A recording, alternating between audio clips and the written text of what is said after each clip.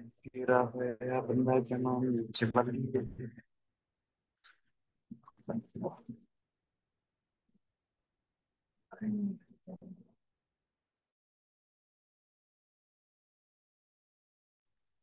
Hello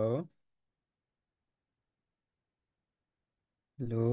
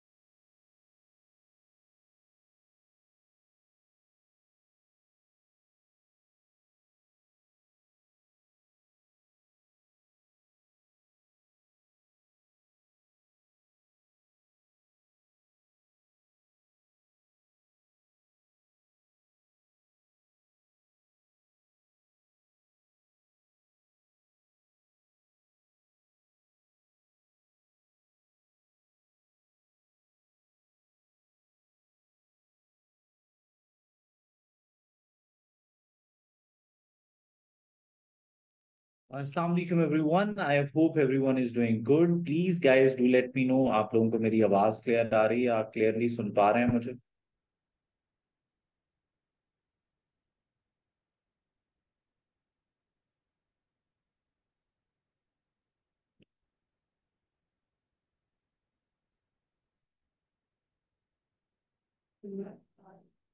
आज है अभी 86 हो हैं हैं? बस 86 ही हैं।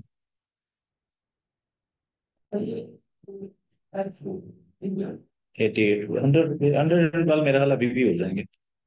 तो ये शर्ट अच्छी मिल है यार, अचानक ही मिल गया है वही। लेकिन अच्छी मिल गया ना?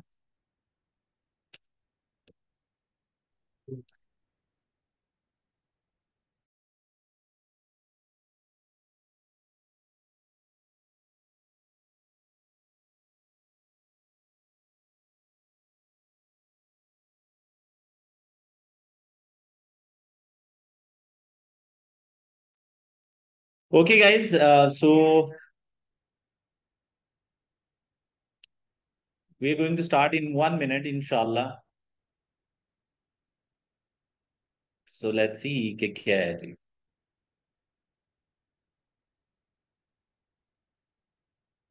Mr. Tokir, I'm trying to reply, but the messages are uh, too much. So it is, uh, I'm taking time because I have to plan this uh, session as well. So, but I'll inshallah I'll reply, okay?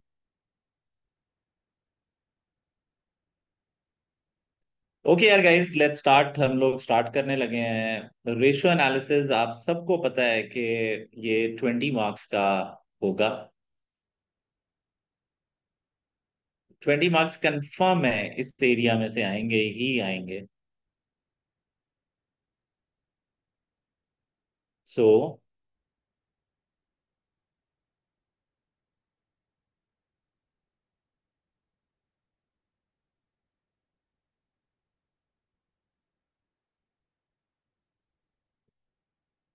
Guys हम लोग बात करेंगे exam point of view से। मैं ratios repeat नहीं करवाऊँगा। वही वाली ratios के फॉर्मूलाज आई होप आप लोगों को आते हैं। तो let's start Afza I have already shared the slides of day four but मैं दोबारा भी सेंड कर देता हूँ, देख के, ठीक है? Okay guys should we start?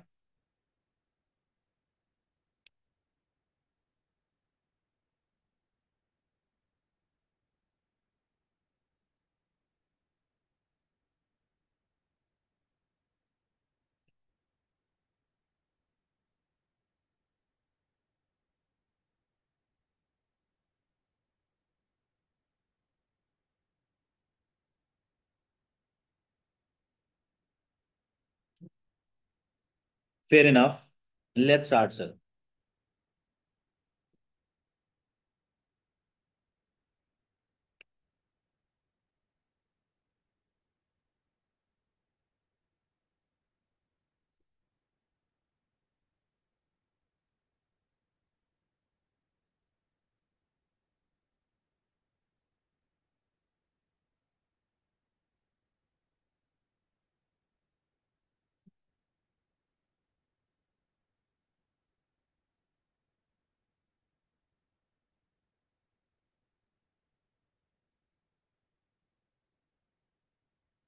Okay, guys, I'm starting in three minutes. People are joining.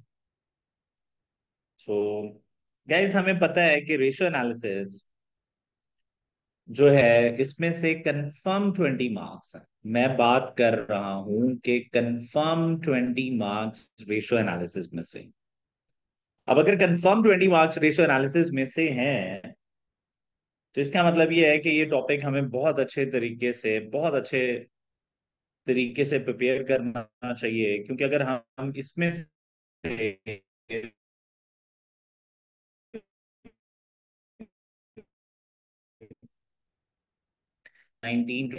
तो पीछे जितना भी पेपर है एटी में से थर्टी फाइव मार्क्स लेना, अगर मैं पंद्रह मिनिमम पंद्रह भी उठा लो तो thirty five marks out of eighty marks लेना को प्रॉब्लमेटिक नहीं होगा।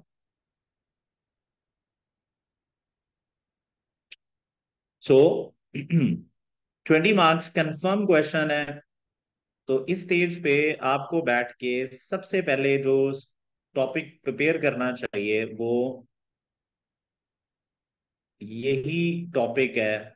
So we will have a confirm question आप में से हर बच्चे को एक कंफर्म क्वेश्चन आएगा। कितने मार्क्स का? ट्वेंटी मार्क्स का। कौन से सेक्शन में? सेक्शन सी में। रेशो एनालिसिस में से।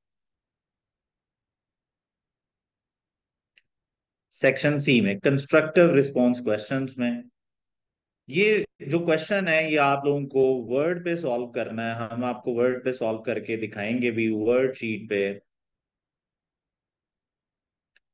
तो ये वर्ड शीट पे क्वेश्चन आप लोगों ने सॉल्व कर तो सर ये स्टोरी है। अब हम लोगों ने करना क्या है? प्लीज़ जरा देखिएगा। इस बात को अंडरस्टैंड करते हैं।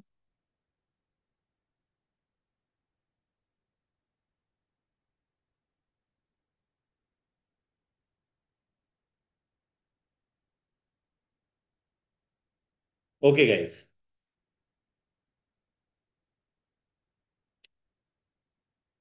so confirm question सबसे पहली बात जो मैं चाहता हूँ आप लोगों को पता हो, वो ये शीट है। Sir this is the most important sheet in your life right now in F R इसमें टाइप्स ऑफ़ क्वेश्चन समझाए हुए हैं मैंने कि किस तरह के टाइप ऑफ़ क्वेश्चन आते हैं। मैंने उनको सम, आ, एक शीट के ऊपर समराइज कर दिया है कि कौन सा क्वेश्चन कौन सी टाइप का है। तो व्हाट शुड यू डू आपको हर एक टाइप के क्वेश्चंस को प्रैक्टिस करना है एक ही गो में व्हाट डज इट मीन तो प्लीज़ जरा देखिएगा कि अब मैं कराने क्या लगा। हूँ तो सबसे पहली गाइस बात है कि रेशियो एनालिसिस में we have different types of question ये जो डिफरेंट टाइप्स ऑफ़ क्वेश्चंस हैं, इन्हीं में से किसी एक टाइप का क्वेश्चन आपको आएगा. This is types of questions on ratio analysis क्या क्वेश्चन है? सबसे पहला अगर हम बात करें तो the first question would be a simple question guys simple question का मतलब क्या है? सिंपल क्वेश्चन का मतलब यह है कि आपको दो कंपनीज़ गिवन होंगी और आपको बोला जाएगा कि इसका एनालिसिस करें। तो जो फ़र्स्ट टाइप है वो सिंपल क्वेश्चन की है। और सिंपल क्वेश्चन में होगा क्या? प्लीज़ जरा बात समझिएगा। या तो टू डिफरेंट कंपनीज़ गिवन होंगी आप लोगों को। टू डिफरेंट कंपनीज़ गिवन होंगी। और आपको कहा जाएगा कि इनकी परफॉर्मेंस और पोजीशन को इवेल्युएट करो कंपैरेटिव एनालिसिस करें। इन दोनों के बीच में कंपैरिजन ड्रॉ करें कि कौन सी कंपनी किन एरियाज़ में बेहतर परफॉर्म कर रही है और कौन सी कंपनी है जो कि बुरा परफॉर्म कर रही है। So two different companies will be given और हमने करना क्या होगा? हमने एनालिसिस करना होगा। Two different companies will be given या तो ये एक सिंपल वाला क्वेश्चन होगा, या फिर क्या होगा? इसी में एक सेकंड टाइप भी होती है and that is two years of same company given होगी। Two years of same company two years of same company given होगी। तो एक कंपनी के दो साल गिवन होंगे और आपको बोला जाएगा कि एनालिसिस करें। तो आप रेशियोज कैलकुलेट करेंगे फॉर बोथ इयर्स एंड आप रेशियो एनालिसिस परफॉर्म करेंगे। सो so ये फ़र्स्ट टाइप ऑफ़ क्वेश्चन है। इस तरह के क्वेश्चन भी आ जाते हैं एग्ज़ाम में। जैसे अगर मैं बात करूँ, एक क्वेश्चन है सिंपल क्वेश्चन मोवेर कंपनी के नाम से सितंबर 2017 के ये क्वेश्चंस हैं। एयरलाइन इंडस्ट्री पे क्वेश्चन आया था और उसने एक ही कंपनी के दो साल दिए थे एयरलाइन इंडस्ट्री के और आपको कहा गया था कि कंपैरिजन कर। फिर अगर हम बात करें तो फिट कंपनी गिवन थी मार्च, जुलाई ट्वेंटी में आया। फिर ट्वीट कंपनी गिवन थी जो कि सितंबर, दिसंबर 22 में आया। सो सिंपल क्वेश्चन भी एग्ज़ाम में आते हैं। तो सिंपल क्वेश्चन का जो फॉर्मेट होता है वो ये वाला फॉर्मेट होता है। Next guys the second type of question is acquisition of subsidiary और बिज़नेस ड्यूरिंग ईयर सर आप एक बिज़नेस इक्वायर कर रहे होते हैं ड्यूरिंग द ईयर क्वेश्चन में एक बिज़नेस नया बिज़नेस खरीदा जा रहा होता है। तो जब बिज़नेस एक खरीदा जा रहा होता है तो आपको एनालिसिस करना होता है। तो आपने अपने एनालिसिस में जो बेसिक एनालिसिस है, वो तो करना ही है। साथ में वो जो नया बिज़नेस आया है ना उसका इम्पैक्ट डिस्कस करना होता है आपने on performance and position of the company ये ज़रूरी नहीं है एक्विजिशन ऑफ़ बिज़नेस हो, ये भी हो सकता है ये एक्विजिशन ऑफ़ सब्सिडरी हो ड्यूरिंग द ईयर अच्छा इसका मतलब ये है कि आप सब्सिडरी खरीद चुके हैं। Acquisition of subsidiary during year आप खरीद चुके हैं ऑलरेडी खरीद चुके हैं। तो उसके रिजल्ट्स आपके कंबाइन हुए पड़े हैं। तो आपने किस तरह की का एनालिसिस करना है। तो इस पे क्वेश्चन आप लोगों को मिल जाएँगे। वुड बैंक जून 2014 में था, ग्रेगरी के नाम से सितंबर 16 था, ड्यू कंपनी है बन कंपनी सितंबर 2019 में है। तो ये चार क्वेश्चंस आपको इसी तरह के मिलेंगे जिसमें एक बिज़नेस खरीदा जा रहा है। तो आपने करना यह है कि आपने हर टाइप को टारगेट करना है। आपने कहना, यार, अगर मैं एक्विजिशन ऑफ़ बिज़नेस का कर रहा हूँ question then I should solve these question at least one question solve करें, दूसरे को, तीसरे को फोर्थ को रीड करें, एक ही गो में, ताकि इस टाइप के क्वेश्चंस आपको समझ आ जाएँगे कैसे करने हैं। और अगर एग्ज़ाम में इस टाइप के क्वेश्चंस रिपीट हो तो आप बहुत कंफर्टेबली ये क्वेश्चंस कर सकें। अच्छा सर सर, इसमें करना क्या होता है? कुछ एक दो बातें जो मैं आप लोगों को बताना चाहता हूँ। सेकेंड टाइप जो है एक्विजिशन ऑफ़ बिज़नेस और जी, sir subsidiary during the year तो क्या करना होता है? ये बात जरा समझनी है। Acquisition of business or subsidiary or segment during year.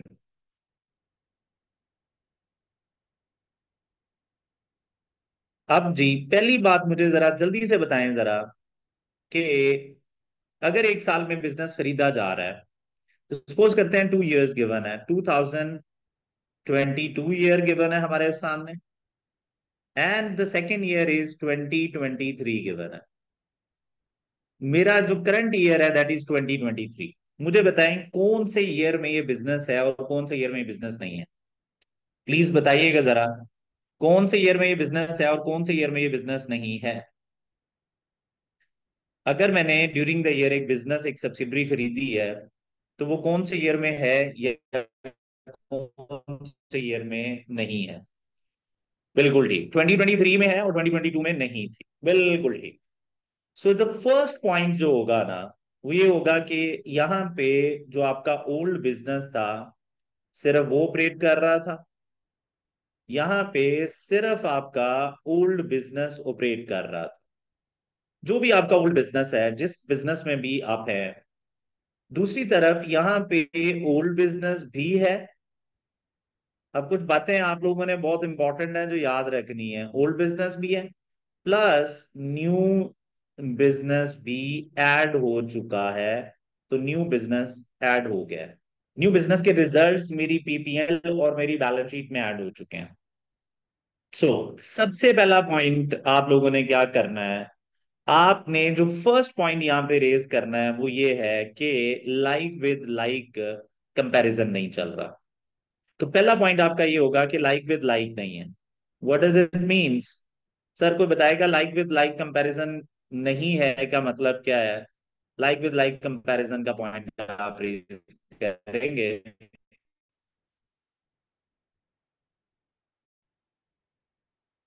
Sir like with like compare हमारा 2023 में नया बिज़नेस आ, आ चुका है जो पिछले साल नहीं था। तो इसका मतलब ये है कि ये कंपेरेबल नहीं है। हम इधर ऐड कर चुके हैं तो ये वाली बात आपने लिखनी है। ये लिखने के बाद दूसरा काम आपने क्या करना है? सेल्स में कुछ ना कुछ इंक्रीज आया होगा। अब जो सेल्स में इंक्रीज है वो न्यू बिज़नेस की वजह से भी होगा। तो आपने अगर आप आइडेंटिफाई कर सके कि कितना सेल में इंक्रीज नए बिज़नेस की वजह से आया तो आपने लोगों को बताना है। अपने एनालिसिस में बताना है। सो so, आपने न्यू बिज़नेस की सेल्स को किसी ना किसी तरह साइड पे करके ये बताना है कि एग्जिस्टिंग बिज़नेस यानी कोशिश करना 2003 में से ये न्यू बिज़नेस की सेल्स एलिमिनेट कर लेना। जब आप सेल्स एलिमिनेट करोगे तो आप बता पाओगे कि एग्जिस्टिंग बिज़नेस कैसा परफॉर्म कर रहा है। तो अदरवाइज़ तो सेल्स बट इंक्रीज हुई होंगी, आपको लगेगा बिज़नेस ने ग्रो किया है। भाई ठीक है, किया है ग्रो लेकिन ग्रोथ दो तरह की होती है ना। एक होती है इंटरनल ग्रो कि मैंने अब सेल्स बढ़ाई है। दूसरा ये कि मैंने बिज़नेस खरीद लिया है। तो मेरा जानना ये होता है कि यार ओल्ड बिज़नेस कैसा परफॉर्म कर रहा है, मुझे ये भी जानना है। और और क्या करना है मुझे? और मुझे दूसरा काम ये करना है कि मुझे इम्पैक्ट समझाने की कोशिश करनी है कि नए बिज़नेस का क्या इम्पैक्ट है। Impact of new business on different ratios और मुझे ये इम्पैक्ट बताना है of new business on different ratios तो ये वाला काम आपने करना है तो कोशिश करनी है कि आप ये इम्पैक्ट बता पाए। सर कैसे बताएँगे? इसके दो तरीके हैं। इस कंपैरिजन करने के दो तरीके हैं। एक बच्चा कह रहा है, मेरी वॉइस में लैग है। प्लीज़ बताइएगा लैग है?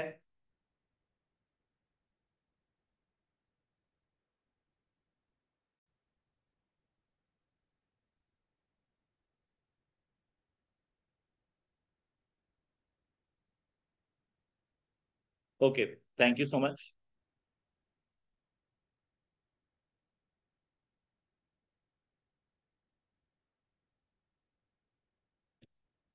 okay I hope आप ठीक हो चुकी होगी क्योंकि बीच में थोड़ी देर के लिए मेरा नेट फ्लक्चुएट किया था। तो अब ठीक हो जानी चाहिए ये। जी। So impact of new business बताना है और आपने डिफरेंट रेशियोज अब इम्पैक्ट ऑफ़ न्यू बिज़नेस बताना बहुत ज़रूरी है। अब क्या हम इस तरह के क्वेश्चंस करेंगे? ऑब्वियसली हमने दो दिन रखे ही इसलिए हैं कि इस तरह के क्वेश्चंस भी करें। लेकिन इसके दो वेज हैं। जी सर, पहला तरीका इसका ये होता है कि आप क्या करें? आप एलिमिनेट करें। इसके दो वेज हैं। दोनों में से जो दिल करे फॉलो कर लेना। अगर कोई स्पेसिफिक रिक्वायरमेंट्स क्वेश्चन में गिवन नहीं है तो तो जो दिल करे कर लेना। एक होता है यार कि एलिमिनेट कर दें। एलिमिनेट करें। New business from new business और new subsidiary from 2020 from year 2023 तो जब आप ईयर 2023 में से एलिमिनेट करेंगे तो फिर जो रेशियोज कैलकुलेट होंगी, वो क्या होंगी? 2022 में भी ओल्ड बिज़नेस है 2023 2023 में से आपने नया बिज़नेस एलिमिनेट कर दिया। तो जब आपने नया बिज़नेस एलिमिनेट किया तो वो भी ओल्ड बिज़नेस है तो ओल्ड बिज़नेस ओल्ड बिज़नेस के साथ लाइक विद लाइक कंपैरिजन हो जाएगा। आगे, अब क्या होगा जी? जब एलिमिनेट करेंगे तो ओल्ड ओल्ड से कंपैरिजन हो जाएगा। ओल्ड बिज़नेस ओल्ड बिज़नेस 2022 में भी था 2023 में भी ओल्ड वाला सारा एनालिसिस हो जाएगा तो कंपैरिजन बन जाएगा। लेकिन क्योंकि आपने इंपैक्ट समझाना होता है सेपरेटली कैलकुलेट करें आप लोग, जरा गौर करें। सेपरेटली कैलकुलेट करें आप सेपरेटली कैलकुलेट करें न्यू बिज़नेस रेशोज वही रेशोज जो भी रेशोज क्वेश्चन में चल रही हैं, वो सेपरेटली बिज़नेस के लिए जितनी कैलकुलेट कर सकते हैं करके, उसका, उसके बारे में कंपैरिजन करें कि ओल्ड और न्यू बिज़नेस की रेशोज में क्या फ़र्क है। अगर ग्रॉस प्रॉफिट नए बिज़नेस का बेहतर है तो मुझे बताएँ इम्पैक्ट क्या आएगा? जल्दी बताएँ। ओल्ड बिज़नेस के रॉस से नए बिज़नेस का रॉस बेहतर है तो मुझे बताएँ जब वो कंबाइन होगा आके तो what would be the impact answer है, मेरी ग्रॉस प्रॉफिटेबिलिटी इंक्रीज करेगा। तो नए बिज़नेस ने मेरी ग्रॉस प्रॉफिटेबिलिटी को आके इंक्रीज किया। आपने देखना है कि रिटर्न ऑन कैपिटल एम्प्लॉयड किया है नए बिज़नेस का। आपने देखना नेट प्रॉफिट मार्जिन क्या है उनके। तो आपने डिफरेंट रेशियोज देख के जो नया बिज़नेस है, उसकी डिफरेंट रेशियोज कैलकुलेट करके आपने इम्पैक्ट समझाना है। एग्जामिनर को ये इम्पैक्ट समझाना है। गलत, ठीक, जैसा भी कर रहे होंगे, लेकिन ये चीज़ आपके आंसर में नज़र आनी चाहिए। ठीक? Separate separate separately calculate new business ratios और फिर कंपेयर करें कि इम्पैक्ट क्या आएगा नए बिज़नेस का। देन कंपेयर करो कि क्या इम्पैक्ट है दूसरा तरीका ये होता है, जो ज़्यादा आसान होता है, कि आप क्या करें? जी सर कैलकुलेट कर लें रेशोज एज इट इज़ आप कैलकुलेट कर लें ratios of year 2022 and year 2023 as it is. As it is. बस as it is. जो बिज़नेस गिवन है, चुप करके कर ले। अब मुझे बताएँ, होगा क्या? जल्दी से बताएँ जरा। यहाँ पे ओल्ड है।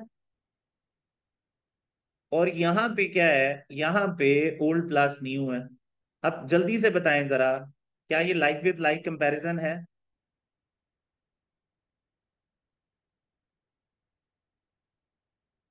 आंसर है नहीं है।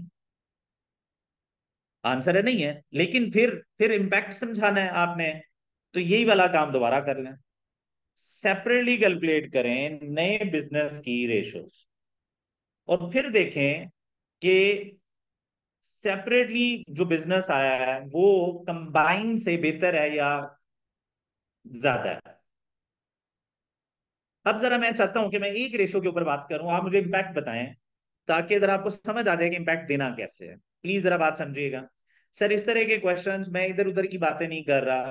सर काम की बातें हम कर रहे हैं। ये देखें, चार क्वेश्चंस आपको कैप्लन किट में मिल जाएँगे। ये पास पेपर्स के क्वेश्चन हैं। वुड बैंक है ग्रेगरी है ड्यू कंपनी एंड बनपुर सुन रहे हैं आप? तो ये क्वेश्चन हैं जिनको आप लोगों ने टारगेट करना है जाके। इज़ दैट ओके इसके अलावा भी एक क्वेश्चन है जो मैं आप लोगों को आज वीडियो फॉर्म में शेयर करूँगा। सो so, आपने क्या करना है? आपने मुझे बताना है आप लोगों ने क्या होगा। I am I am just giving you one ratio और उसके ऊपर हम कंपैरिजन करेंगे। मुझे बताएँ कि ग्रॉस प्रॉफिट परसेंटेज अगर ग्रॉस प्रॉफिट परसेंटेज यहाँ पे ट्वेंटी परसेंट थी और यहाँ पे ट्वेंटी वन परसेंट है। तो मुझे बताएँ ग्रॉस प्रॉफिट मार्जिन बेहतर हुए हैं या खराब हुए हैं? आप बताएँ। आंसर है सर ग्रॉस प्रॉफिट परसेंटेज बेहतर हुई है। सेपरेटली कैलकुलेट की न्यू बिज़नेस की रेशोज तो उसकी जो ग्रॉस प्रॉफिट परसेंटेज है, वो आ रही है ट्वेंटी थ्री परसेंट मुझे बताएँ, नए बिज़नेस ने आके आपकी ग्रॉस प्रॉफिट परसेंटेज में अच्छा इंपैक्ट क्रिएट किया है या बुरा? अच्छा इम्पैक्ट किया। तो आप क्या कहेंगे कि नए बिज़नेस को बाय करने की वजह से हमारी ग्रॉस प्रॉफिटेबिलिटी बेहतर होगी, क्योंकि वो separately 23 percent gross profit margin कमा रहा है। ये बात सिंपल है ना? इधर आ जाए। 20 परसेंट ओल्ड बिज़नेस कर रहा था। ओल्ड बिज़नेस अब 23 परसेंट कर रहा है। और जो सेपरेट बिज़नेस था, उसने 21 परसेंट क्रिएट किया है। मुझे बताएँ, क्या लग रहा है? इम्पैक्ट बेहतर आएगा इसका? एक minute sorry twenty four percent ये हो गया है और ये जो है, ये ट्वेंटी थ्री परसेंट है।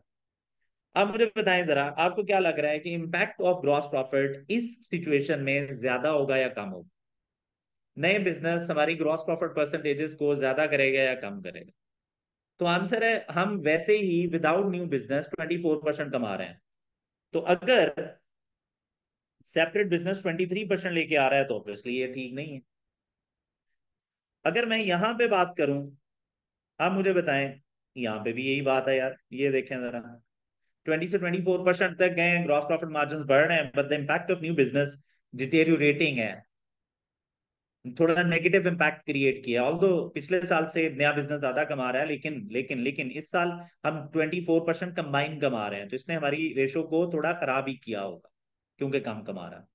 क्या आपको ये बात समझ आ गई है? इस तरह आपने एनालिसिस देना है। अब इसमें ये ये पॉइंट बहुत इंपॉर्टेंट है। ये सारे के सारे पॉइंट्स आपके इस तरह के क्वेश्चंस में होने चाहिए, जहाँ पे आप बिज़नेस सेगमेंट्स खरीद रहे हैं। ओके आगे गाइस अगर हम बात करें तो नेक्स्ट क्या है? नेक्स्ट है इस इस तरह के क्वेश्चंस में आपने देखना है कि कितना टाइम इक्वायर किए हुआ हुआ है। हाउ मैनी मंथ्स जो acquisition date of new business है, ये कितनी देर पहले की है? तो जब आप ये बताएँगे कि एक्विजिशन डेट कितने मंथ्स पहले की है acquisition date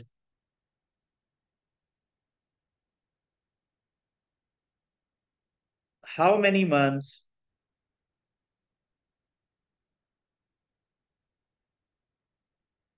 new business generated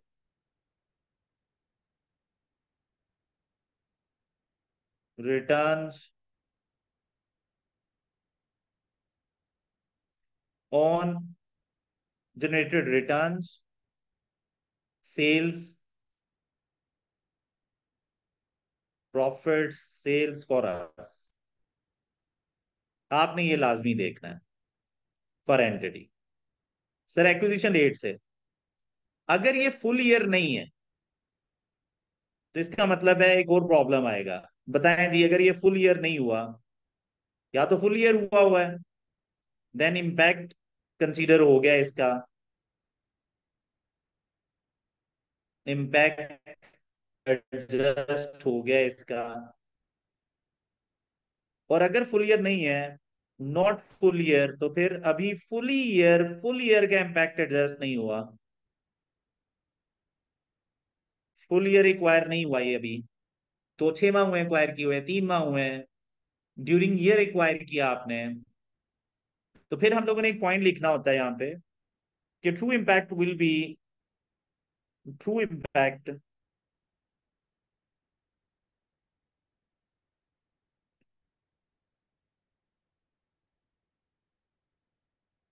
will be reflected in next year भाईजान इसका सही इंपैक्ट जो है वो नेक्स्ट ईयर पता चल रहा है। So true impact will be reflected in next year sir ये वो बातें हैं जो बिज़नेस इक्वायर करने करते वक्त आपने क्वेश्चन में ढूंढनी ढूंढनी है, लिखनी लिखनी है। ये एक्विजिशन ऑफ़ न्यू बिज़नेस के पॉइंट्स थे। क्या इतनी बात आप लोगों को समझ आ गई है? प्लीज़ बताइएगा जरा।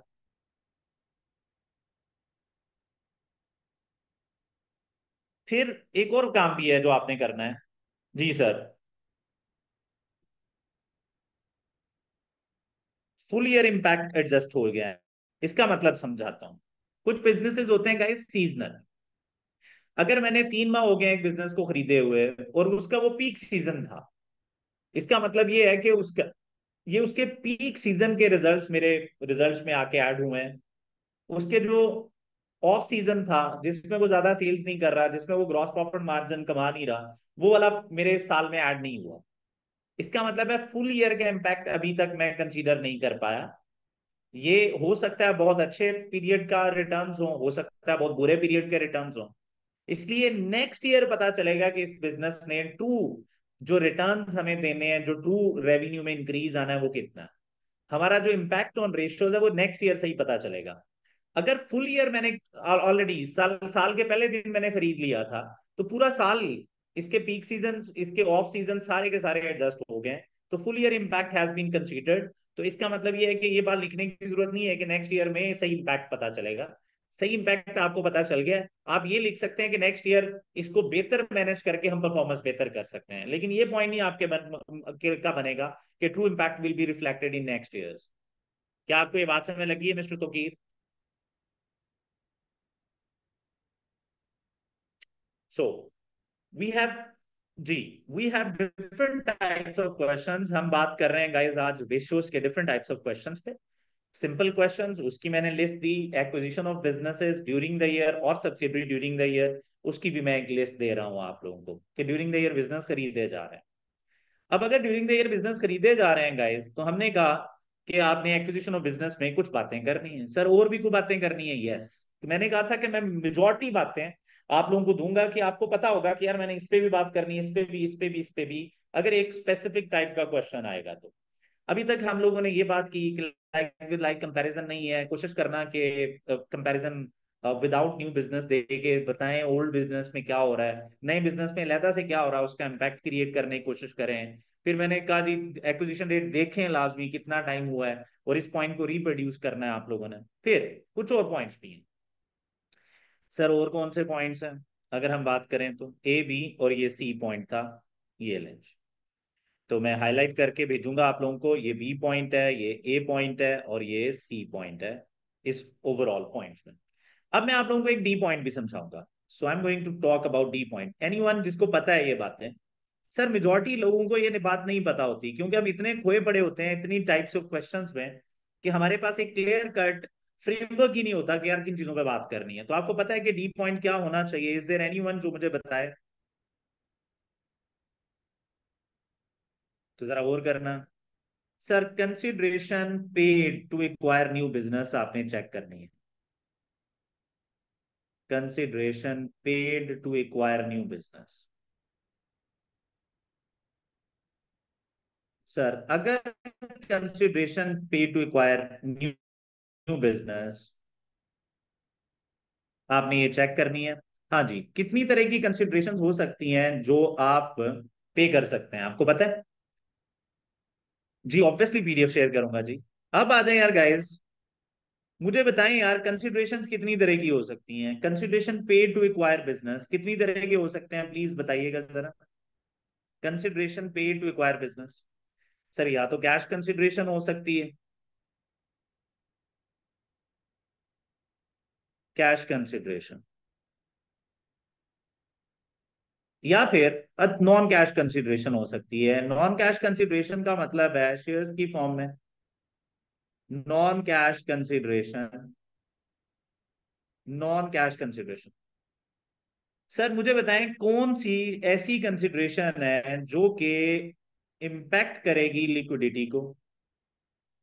Exchange of shares exchange of shares लें जी। सर सर अगर एक्सचेंज ऑफ़ शेयर्स है तो आप इसको लिक्विडिटी के ऊपर कोई इंपैक्ट नहीं है इसका। लिक्विडिटी का मतलब होता है availability of cash sir availability of cash पे कोई प्रॉब्लम नहीं है। सर ये जो कैश कंसिडरेशन है, जी सर इसका इम्पैक्ट ऑन लिक्विडिटी पे डिस्कशन करेंगे और लाजमी करना है इम्पैक्ट ऑन लिक्विडेशन लिक्विडिटी, के यार लिक्विडिटी के हालात खराब हैं क्योंकि सारा पैसा बिज़नेस में लगा दिया आपने। तो जब आप नए बिज़नेस खरीदने पे ये सारे पैसे लगा रहे हैं तो इसका मतलब क्या है?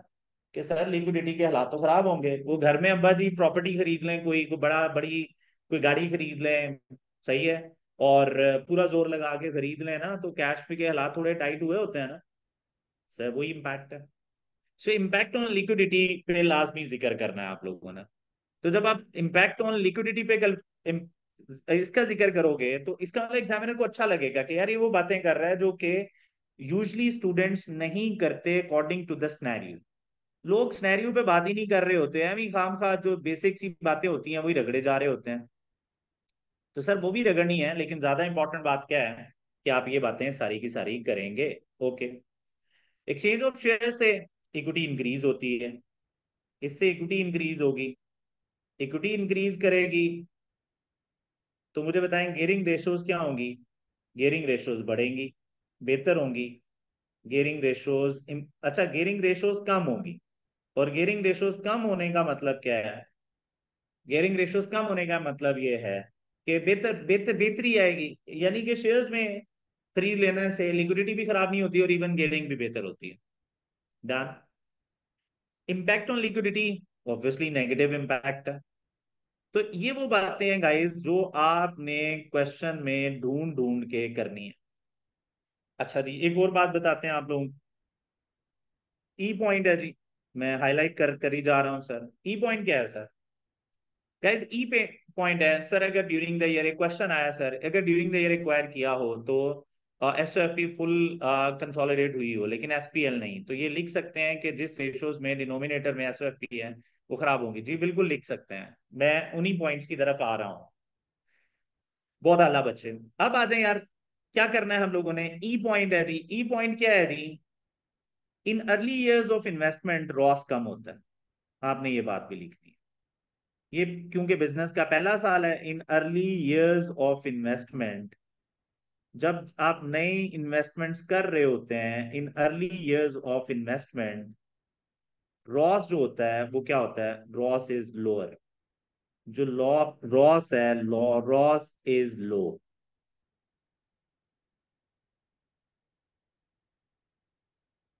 in early years of investment ROCE is low तो अर्ली इयर्स ऑफ़ इन्वेस्टमेंट में रॉस जो होती है, वो क्या होती है? लो होती है. सुन रहे हैं आप? क्यों लो होती है भाईजान? क्योंकि proper returns Aahista Aahista grow करेंगे, क्योंकि इंटीग्रेशन के इश्यूज़ चल रहे होते हैं। नया बिज़नेस आप खरीद रहे हैं, अभी इंटीग्रेट इंटीग्रेशन चल रही है। कुछ लोगों को निकालेंगे, कुछ लोगों को रख, नए हायर करेंगे मशीन एक दूसरे के साथ आके इंस्टॉल होंगी इंटीग्रेशन इश्यूज़ चल रहे होते हैं। So early years of investment में रॉस आपका लो होता है। उसकी वजह क्या हो सकती है? नॉट फुली इंटीग्रेटेड है। तो कुछ जरा रीजन में लिख रहा हूँ। Some assets are surplus to requirement तो वो जब तक बेचते नहीं, तब तक रिटर्न उन पे आ नहीं रहा। सम एसेट्स आर सरप्लस ये आपके सामने होगी सिचुएशन या क्या लिखा होंगे? Not fully integrated not fully integrated not fully integrated फिर जरा और करना है नॉट फुली इंटीग्रेटेड फिर अगर हम बात करें तो रिटर्न लो है अर्ली ईयर्स में रिटर्न लो होते हैं। अब रिटर्न लो है तो obviously return on capital employed भी लो है। अब एक प्रॉब्लम आएगा, जो अभी एक बच्चे ने ज़िक्र किया है प्लीज़ जरा देखिएगा। अब अगर मुझे नई सब्सिडरी गिवन हो तो आपको पता है ना इम्पैक्ट क्या होता है? जरा चेक करना जरा। कंसोलिडेटेड कंसोलिडेशन में पेरेंट जो ओल्ड बिज़नेस को रिफ्लेक्ट कर रहा है पेरेंट जो ओल्ड बिज़नेस को रिफ्लेक्ट कर रहा है प्लस सब्सिडरी जो न्यू बिज़नेस को इक्वायर अफेक्ट कर रही है न्यू बिज़नेस को। ये न्यू बिज़नेस को बता रही है। अब होता क्या है कि अगर आपने ड्यूरिंग द ईयर इक्वायर किया है ना नॉट फुल ईयर है तो आप मुझे बताएँ जरा, जब ये नॉट फुल ईयर है तो इसका मतलब क्या है? Acquired mid of the year suppose करें, मैं लिख रहा हूँ acquired mid of the year acquired mid of the year start of year नहीं एक्वायर किया। तो यार मुझे बताएँ, इसकी इनकम स्टेटमेंट कितनी देर के लिए कंसोलिडेट हुई होगी? सिर्फ़ और सिर्फ़ छह माह के लिए। तो इनकम स्टेटमेंट छह माह के लिए कंसोलिडेट हुई होगी। इसका मतलब है रिटर्न सिर्फ़ सिक्स मंथ्स के हैं सेल सिर्फ़ सिक्स मंथ्स की हैं। Return sales mid of the year है ना ये? सिक्स मंथ्स के आ रहे हैं जी, ये लें लेकिन जो स्टेटमेंट ऑफ़ फाइनेंशियल पोजीशन है, उसमें जितनी इन्वेस्टमेंट है, वो सारी आ रही होगी. Statement of financial position year end पे बनती है फुली कंसोलिडेट हो जाती है. फुल कंसोलिडेशन हो जाती है. अब जरा जल्दी से बताएँ कि कौन सी रेशोज हैं जिनमें स्टेटमेंट ऑफ़ फाइनेंशियल पोजीशन से वैल्यूज़ उठाते हैं आप? आपको पता है कि रिटर्न ऑन कैपिटल एम्प्लॉयड में न्यूमिरेटर जो होता है, मैं जरा और करना है रिटर्न ऑन कैपिटल एम्प्लॉयड में जो ऊपर वाली चीज़ होती है, वो इनकम स्टेटमेंट की होती है और जो नीचे वाली चीज़ होती है, वो स्टेटमेंट ऑफ़ फाइनेंशियल पोजीशन की होती है, जिसे हम कैपिटल एम्प्लॉयड भी कहते हैं। अब चेक करें जरा। कैपिटल एम्प्लॉयड तो पूरी की पूरी आई हुई है, क्योंकि बैलेंस शीट तो पूरी कंसोलिडेट हो जाती है बैलेंस शीट एक दिन की होती है, लेकिन इनकम स्टेटमेंट जो आए हुए हैं, वो सिर्फ़ छह माह के लिए आए हुए हैं। इसका मतलब यह है कि रेशोज बेहतर रिफ्लेक्ट नहीं कर रही ट्रू परफॉर्मेंस रिफ्लेक्ट नहीं कर रही। और यही पॉइंट हमने ऊपर प्रूव करने की कोशिश की थी कि true impact will be reflected in next year क्योंकि अभी तो आपने ड्यूरिंग द ईयर एक्वायर किया है नॉट फुल ईयर हुआ है एक्वायर किए हुए, छह माह हुए हैं। हर वो रेशो जिसमें एक इनकम स्टेटमेंट होगा, एक बैलेंस शीट होगा, वो बात बनेगी नहीं। जिसमें एक इनकम स्टेटमेंट एक बैलेंस शीट जस्ट जैसे एसेट टर्न ओवर है नेट एसेट टर्न ओवर जिसे हम कहते हैं नॉर्मली हम बोलते इसे एसेट टर्न ओवर ही है। तो नेट एसेट टर्न ओवर इसमें क्या करना है हम लोगों ने? इसमें ऊपर सेल्स होती हैं जो इनकम स्टेटमेंट से आई होती हैं और नीचे वही कैपिटल एम्प्लॉयड होता है। तो इसका मतलब है कि वो किधर से आया होता है? एफ़ से। तो सर, ये रेशियोज ट्रू बिज़नेस का इम्पैक्ट रिफ्लेक्ट करने में नाकाम होती हैं।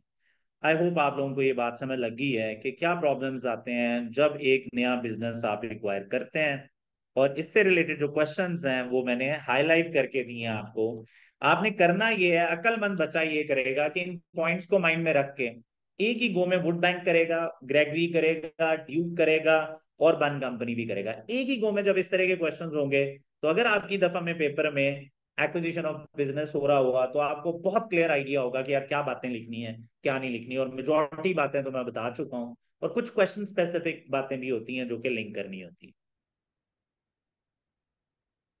अब आ जाए यार गाइस तो टू टाइप्स को हम डिस्कस कर चुके हैं guys first type was simple acquisition की बात हुई हमारे पास। सिंपल एक्विजिशन की बात के बाद सिंपल क्वेश्चन की बात हुई सर सिंपल क्वेश्चन के बाद हमने दूसरी बात क्या की? कि हम एक बिज़नेस खरीद रहे हैं या बेच रहे हैं तो इसके ऊपर हमने बात की, सिर्फ़ खरीदने पे बात की। अब हम लोग जा रहे हैं नेक्स्ट बातों की तरफ़ तो प्लीज़ जरा देखें। कुछ बच्चे कह रहे हैं इसको समझ समझ नहीं आया। प्लीज़ ट्राई टू अंडरस्टैंड और फिर देखते हैं जब हम क्वेश्चन पे जाएँगे तो। अब आते हैं यार गाइज़ तो ये थी सेकेंड टाइप हम एक एक पे बात कर रहे हैं guys so please stay with me be with me जरा थोड़ा सा बात समझे। लें जी। दो टाइप्स के पे बात होगी क्वेश्चन की। थर्ड टाइप है गाइस डिस्पोजल ऑफ़ सब्सिडरी या बिज़नेस एक बिज़नेस आप बेच रहे हैं, एक सब्सिडरी आप बेच रहे हैं। और इसी पे आईफरएस फाइव की इंप्लीकेशन अब ये बड़ा मज़ेदार कॉन्सेप्ट है। इसीलिए जब मैंने आप लोगों को इस एग्ज़ाम हैक्स में स्टैंडर्ड रिवाइज कराए थे तो आईएफआरएस 5 भी रिवाइज कराया। और उसमें डिसकॉन्टिन्यूड ऑपरेशन भी रिवाइज कराया। दैट वाज इंपॉर्टेंट एरिया जो रेशियो एनालिसिस में इंपॉर्टेंट था दैट्स वाई कि मैंने वो रिवाइज कराया था। कुछ लोगों को लग रहा था कि ये क्यों करा रहे हैं, सर, इतना इंपॉर्टेंट है तो नहीं, या हमें तो आता है। सब वेरी इंपॉर्टेंट रेशियो एनालिसिस में। अब AD third type disposal of subsidiary पे ऊपर हम बात करेंगे।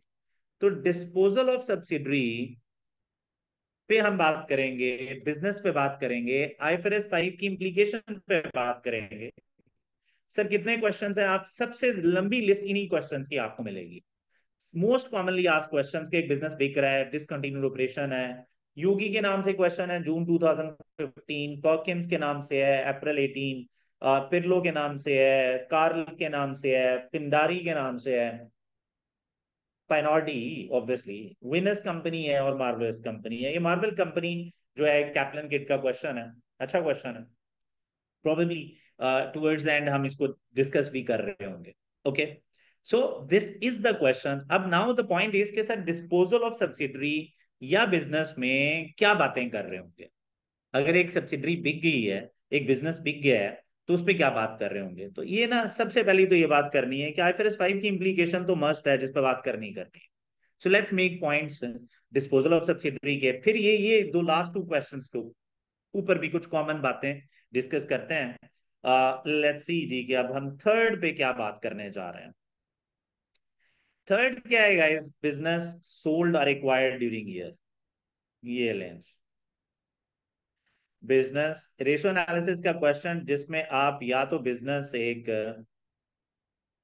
से, सेल कर रहे होंगे। बिज़नेस सोल्ड बिज़नेस की जगह क्या हो सकता है? सब्सिडरी भी हो सकती है भाई। सब्सिडरी भी एक बिज़नेस ही है। सब्सिडरी सोल्ड ड्यूरिंग ईयर इस साल बेची आपने ड्यूरिंग ईयर अब इसके क्या पॉइंट्स बनने चाहिए? अब ये क्वेश्चन है हमारे सामने कि इसके क्या पॉइंट्स बनने चाहिए? बना लेते हैं सर इसके पॉइंट्स भी। तो पहला पॉइंट इसका जो बनना चाहिए वो क्या है? जी सर एनी मैं चाह रहा हूँ आप भी पार्टिसिपेट करें। क्या लग रहा है यार, क्या बिज़नेस की टाइप होनी चाहिए? What should be the type ji sir business subsidiary sold during year जी सर अब आ जाए यार गाइस जी बिल्कुल ठीक है. अगर सपोज़ करें कि 2022 बना रहे हैं आप ईयर 2022 है आपका, और ईयर 2023 है. बहुत मज़ेदार डिस्कशन ले जी ईयर 2023 है. ईयर 2022 एंड ईयर 23 जी सर, क्या लग रहा है? यहाँ पे न्यू जो हमारा existing business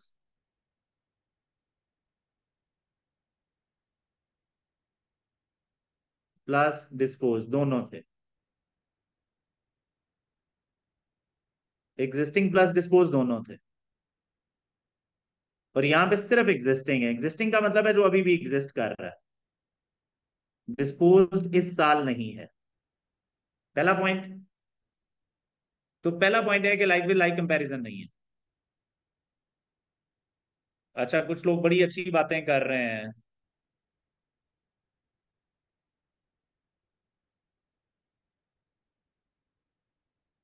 ji sir like with like नहीं है। हसन भाई ने बड़ी अच्छी बात की है। जी सर। ओके जी अब जरा और करना। एग्जिस्टिंग यहाँ पे। अब जरा बात समझना। सर, अगर अगर अगर अगर, एक बात बताना जरा। अगर सोल 2023 में हुई है तो आपको पता है यहाँ पे डिस्पोज सब्सिडरी भी होगी। इधर डिस्पोज्ड बिज़नेस भी होगा। मुझे बताएँ डिस्पोज सब्सिडरी बोल रहा हूँ यार मैं, या डिस्पोज सेगमेंट भी होगा। अब मुझे बताएँ, ये कितनी देर के लिए होगा? दिस इज़ इंटरेस्टिंग मुझे बताएँ कि अगर, जरा जल्दी से बताएँ जरा, अगर डिस्पोज सब्सिडरी ईयर एंड पे डिस्पोज हुई है, ये जो डिस्पोज सब्सिडरी है, अगर ये ईयर एंड पे हुई है ईयर एंड पे डिस्पोज हुई है, आप डिस्पोजल डेट को चेक करें। तो मुझे बताएँ, जब डिस्पोजल डेट को आप चेक करेंगे तो क्या होगा? ईयर एंड पे? जी सर, आप मुझे बताएँ ईयर एंड पे करेंगे तो क्या ये लाइक विद लाइक वाला पॉइंट इधर बनता है? तो फुल ईयर इंक्लूड है हमारे, इस साल। फुल ईयर इंक्लूड है गाइस अब मुझे बताएँगे लाइक विद लाइक है या नहीं है? जल्दी से बताएँ। इस सिचुएशन में लाइक विद लाइक है एग्जैक्टली exactly. सर आपको पता है क्वेश्चन में एग्जामिनर ने यही ट्रिक किया आपके साथ। लोगों को रट्टा लगा हुआ था कि भाई लाइक विद लाइक कंपैरिजन नहीं है। उसने बेची आखिरी दिन। लोग लिख रहे थे लाइक विद लाइक कंपैरिजन नहीं और वो हंस रहा था कि पागल है। क्यों लाइक विद लाइक कंपैरिजन नहीं है? पूरे साल के लिए, पिछले साल भी था, इस साल भी था। Very important very important is that okay so full year अगर इंक्लूड है तो ये लाइक विद लाइक है। This is important like with like लें ये लाइक विद लाइक कंपैरिजन है। यहाँ पे like with like comparison exist कर रहा है। प्लीज़ ये बात समझें। ये लें। दूसरा mid of the year, start of the year. अब मुझे बताएँ, स्टार्ट ऑफ़ द ईयर आपने बेचा है? Start of the year. Sir, अब इसका मतलब क्या है? कि ज़ीरो चीज़ है जो इंक्लूडेड है। स्टार्ट में लाइक विद लाइक नहीं है। Exactly mid of the year है। तो जरा जल्दी से बताएँ मिड ऑफ़ द ईयर भी है। मिड ऑफ़ ईयर भी है। अब यहाँ पे लाइक विद लाइक कंपैरिजन वाला पॉइंट अप्लाई नहीं हो रहा। यहाँ पे लाइक विद लाइक यहाँ पे लाइक विद लाइक कंपैरिजन नहीं हो रहा। Like with like comparison no like with like comparison अच्छा जी, ये लें सर इन दोनों सिचुएशन में no like with like comparison I hope आपको ये बात तो क्लियर होगी। सर आगे। अगर इतनी बात आप लोगों को क्लियर हो गई है तो दूसरा पॉइंट मैं बताने लगा हूँ आप वेरी इंटरेस्टिंग दूसरा पॉइंट सबसे जी सर सबसे दूसरा दूसरा जो इंपैक्ट है वो सबसे इंपॉर्टेंट है। और वो क्या है? Sir this is the most important line मुझे समझ नहीं आई कि मैंने इसको बी पे क्यों रखा है। मैंने एम बस तुम लोगों के चक्कर में आके ना तुम लोगों के जज, आ, वो जो जज्बात में बह गया मैं। अदरवाइज़ ये पहला पॉइंट होना चाहिए था। आप लोगों ने बोलना शुरू कर दिया लाइक विद लाइक नहीं है तो मैंने कहा मैं भी लिख देता हूँ। The first point should be कि जो एनालिसिस है ना this is the most important thing मुझे बताएँ कि क्या डिस्पोज बिज़नेस फ्यूचर में आपके बिज़नेस में कोई कंट्रीब्यूशन देगा? डिस्पोज सब्सिडरी है या बिज़नेस है? जरा जल्दी से बताएँ। डिस्पोज सब्सिडरी और business will not contribute sir ये लाइंस लिखनी है, आपने बोल रहा हूँ मैं। Will not contribute will not contribute किसकी तरफ़ कंट्रीब्यूट नहीं करेगा? Will not contribute in future sales profitability, profits, liquidity sir ये नहीं देगा। Sir dispose subsidiary business will not contribute in future sales profits liquidity तो जो बिज़नेस फ्यूचर में मेरे लिए कुछ जनरेट ही नहीं करेगा। तो मैं एनालिसिस कर रहा होता हूँ ये समझने के लिए कि कंपनी कैसा कर रही है, आगे कंपनी क्या करेगी? मैंने इस कंपनी में इन्वेस्ट करना है, नहीं करना? मैंने इसको बाय करना है, नहीं करना? मैंने इसके शेयर्स खरीदने या नहीं खरीदने मैंने इसको लोन देना ही, नहीं देना? तो मेरा जो डिसीज़न होते हैं ना, वो फ्यूचर से रिलेटेड होते हैं। मैं करंट ईयर्स को असेस करके फ्यूचर का अंदाज़ा लगा रहा होता तो मुझे बताएँ, जब dispose subsidiary will not contribute तो इसका मतलब क्या है? क्या मुझे इसके, इसको एनालिसिस में शामिल करना चाहिए? तो मुझे बताएँ कि एनालिसिस अगर मैं यहाँ पे बनाऊँ सो सो ये लाइन लिखनी है आपने? So analysis should be without dispose business analysis should be analysis should be without सुन रहे हैं आप? मेरे साथ हैं आप. Without analysis should be analysis should be without disposed business without disposed subsidiary please ये बात समझ लें कि इसको एलिमिनेट करके आपको एनालिसिस करना चाहिए। मुझे बताएँ, क्या ये बात आप लोगों को समझ आई है या नहीं? क्या ये बात समझ आई है या नहीं? सर, अगर आपने डिस्पोज बिज़नेस है और अगर आप ये वाली बात का ज़िक्र नहीं कर रहे तो आप इंतहाई बेवकूफ़ इंसान है। आपको मुफ़्त के नंबर मिल रहे हैं, वो बांटता फिर रहा है, आप कह रहे हैं, नहीं नहीं, मैंने नहीं लेने। So you need to write this point आज से ऑनवर्ड ये वाला पीडीएफ आपने रोज़ाना ओपन करके देखना है टिल एग्ज़ाम डेट क्योंकि इन, इन्हीं पाँच टाइप्स में से एक टाइप आपको आके बचेगी। आपको आगे बचेगी का मतलब है, आपके दफ़ा में भी इसी तरह का क्वेश्चन आएगा। ओके गाइस अगर इतनी बात समय लग गई है तो आगे बढ़ते हैं। क्या बात खत्म हो गई है? ना। सी पॉइंट है जी। एनी वन जो कि मुझे सी पॉइंट बताना चाहिए यानी कोई भी पॉइंट बता दो, मैं वो सी बना दूँगा। जरा जल्दी से बताएँ, है कोई जो को पॉइंट बताना चाहे?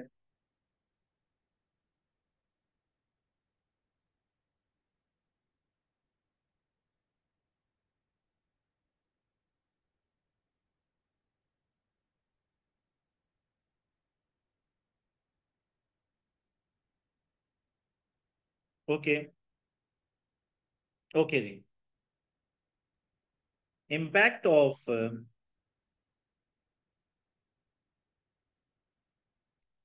disposed business.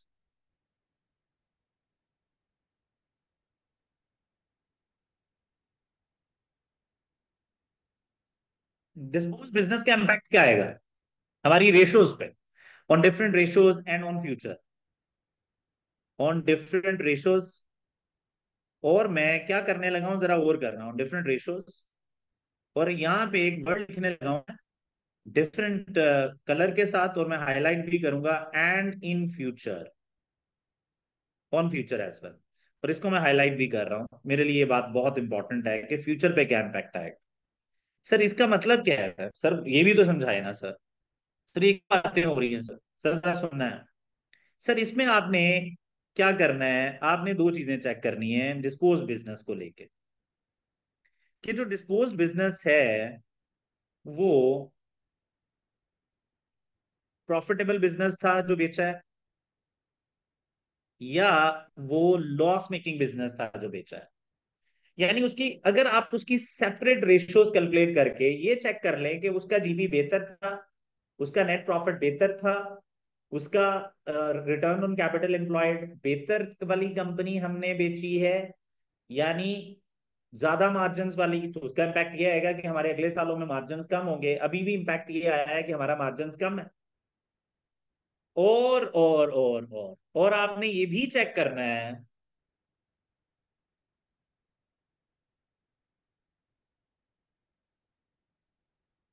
और आपने ये भी चेक करना है जी sir dispose business loss making था और लॉस मेकिंग है तो आपने कहना यार अच्छा किया, जान छोड़ डाली इस बिज़नेस से।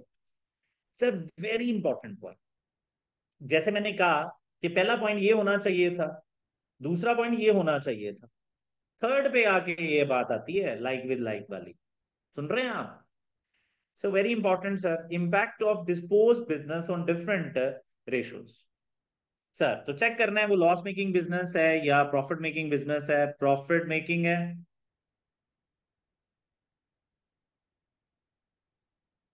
Profit making loss making better ratios वाला बिज़नेस है। हाँ भाई, अगर बेटर रेशोज थी डिस्पोज बिज़नेस की, या थोड़ी वर्स रेशोज थी वर्स थी वर्स रेशियोज थी बेटर रेशोज हैं या वर्स रेशोज हैं? फिर अगर बात करें जी, जरा वो करना क्या क्या बोल रहा हूँ मैं? सेम सेक्टर था या डिफरेंट सेक्टर था? कोर एक्टिविटी में से बेचा है? नॉन कोर एक्टिविटीज़ थी।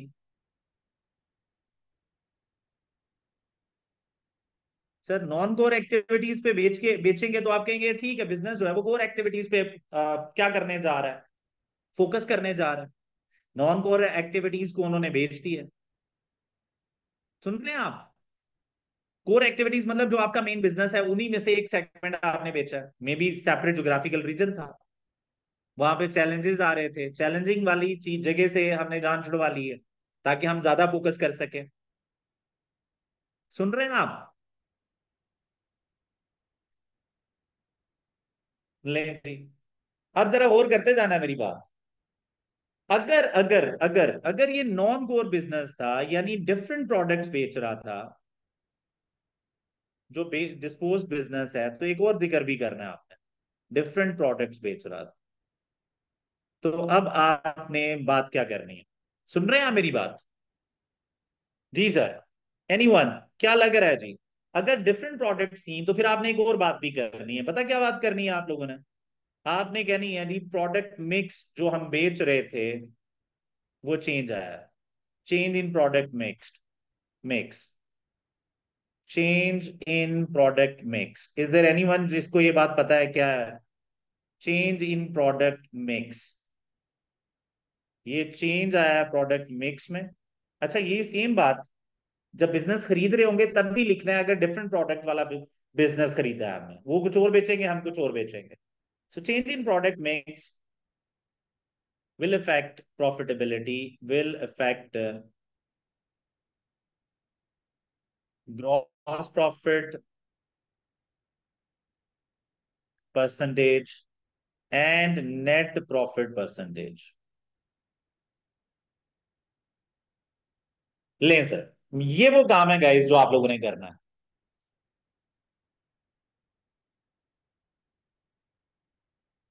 एक बच्चे ने कहा, सर, अगर प्रॉफिट मेकिंग बिज़नेस सेल किया है तो क्या कमेंट होंगे?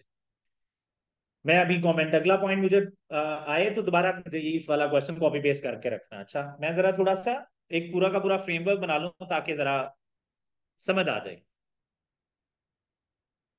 बच्चा कह रहा है, सर, ये ये किस तरह एक्विजिशन में बच्चे एक्विजिशन में भी अगर आप एक बिज़नेस ऐसा खरीद रहे हैं, जो जो कि डिफरेंट प्रोडक्ट्स बना रहे हैं तो आपके प्रोडक्ट में एक्सचेंज होगी।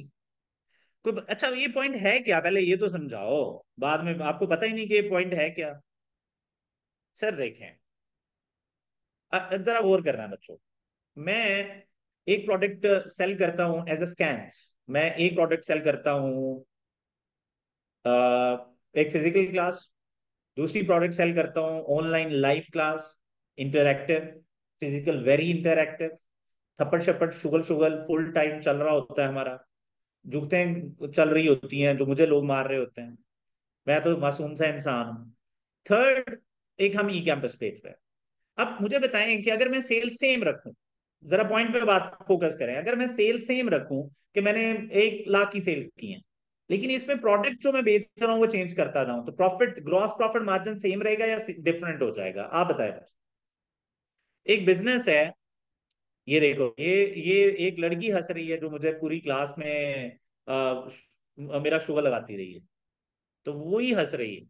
अब मुझे बताएँ कि अगर प्रोडक्ट मिक्स चेंज होगा प्रोडक्ट मिक्स चेंज होगा तो इसका मतलब ये है कि आपकी profitability even with same sales even sales are increasing तो आपका ग्रॉस प्रॉफिट मार्जिन वेरी करते रहते हैं, क्योंकि आप प्रोडक्ट मिक्स चेंज कर रहे हैं। यानी जो टोटल प्रोडक्ट आप बेच रहे हैं, उसमें किसी का मिक्स यानी उसका जो मिक्सचर है, उसमें किसी का मिक्स किसी का कंट्रीब्यूशन ज़्यादा है, ज़्यादा सेल्स है, किसी की कम है तो it will affect your business margin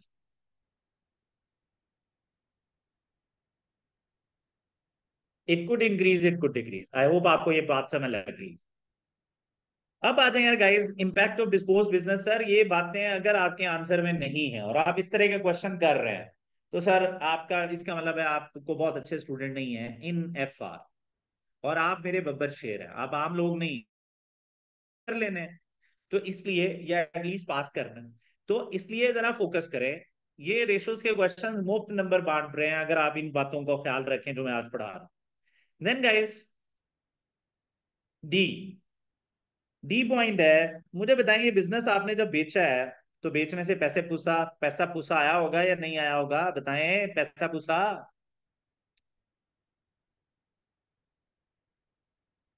sir एक बच्चे ने बात कर भी दिया होगा। Exactly the fourth point would be कि भाई, जो बिज़नेस से पैसा आ रहा है, जो बिज़नेस से पैसा आ रहा है, सुन रहे हैं आप? जो बिज़नेस से पैसा आ रहा है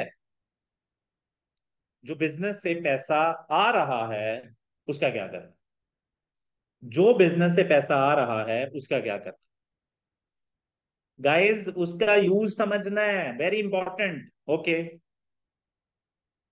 dispose subsidy consideration receive from dispose subsidiary ये लें जी consideration received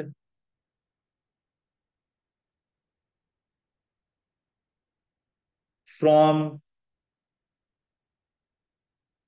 disposed business. Consideration received from disposed business. जो consideration consideration received from disposed business consideration receive from dispose business dispose subsidiary उसका यूज़ अच्छा अब ये भी हो सकता है वो नॉन कैश हो सर वो नॉन कैश भी हो सकता है अच्छा अभी तक ये वाला शुगर नहीं लगाया एग्जामिनर ने कि वो नॉन कैश देते इसलिए मैं तो बोलूँगा भाई चेक कर लेना नॉन कैश कंसिडरेशन तो नहीं है क्योंकि फिर उससे लिक्विडिटी इंप्रूव नहीं हुई होगी तो नॉन कैश कंसिडरेशन या कैश कंसिडरेशन भाई, आप भी तो शेयर्स ले सकते हैं ना। कैश कंसिडरेशन मुझे बताएँ कि कैश कंसिडरेशन अगर आ गई तो इसका इंपैक्ट क्या आया होगा? जरा जल्दी से बताएँ। लिक्विडिटी इनहेंस हुई होगी। लिक्विडिटी इंप्रूव हुई होगी। लिक्विडिटी इंप्रूव हुई होगी। ये लें।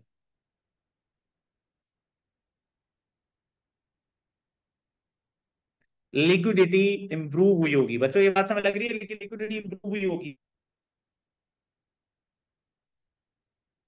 ओके गुड अब मुझे बताएँ कि आपने अगला, अगली जो बात करनी है, वो ये है। सर जरा गौर करना है सर गौर करना है। लिक्विडिटी इंप्रूव हुई होगी। तो ये जो कैश कंसिडरेशन है, उसका यूज़ क्या किया है? Discuss use of cash received. Discuss use of cash received. Sir ये जो पैसा आया है, ये कहाँ यूज़ हुआ है हो सकता है अभी तक आपके कैश में पड़ा हो हो सकता है कैश बैलेंस में पड़ा हो सिर्फ़ हो सकता है आपने लोन पे ऑफ़ कर दिया हो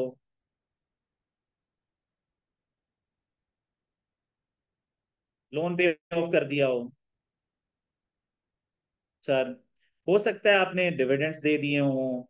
ये डिविडेंड पे मुझे बात याद दिलाना, मैं जब कॉमन पॉइंट्स पे बात कर रहा हूँ तो मैं डिविडेंड पे बात करूँगा।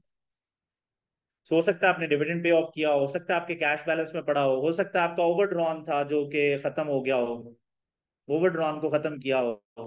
तो कोई भी इम्पैक्ट जो भी उसका इम्पैक्ट लिया है आपने बैंक ओवरड्रॉन को नेगेटिव कर दिया हो सकता है property plan and equipment improve हुए हो हो सकता है इंटेंजिबल एसेट्स इंप्रूव हुए हों।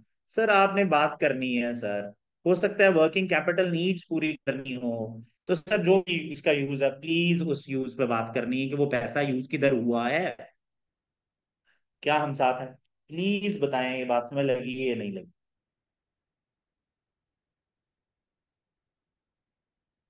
आप मुझे बताएँ, अगर एक कंपनी प्रॉफिटेबल थी और बेच दी है, फिर भी बेच दी है, क्या रीजन हो सकती है? आंसर है, हो सकता है लिक्विडिटी इश्यूज़ आ रहे हो। लिक्विडिटी इश्यूज़ आ रहे हो। हो सकता है फ्यूचर में आपको टेंशन थी कि बिज़नेस अच्छा परफॉर्म नहीं कर पाएगा।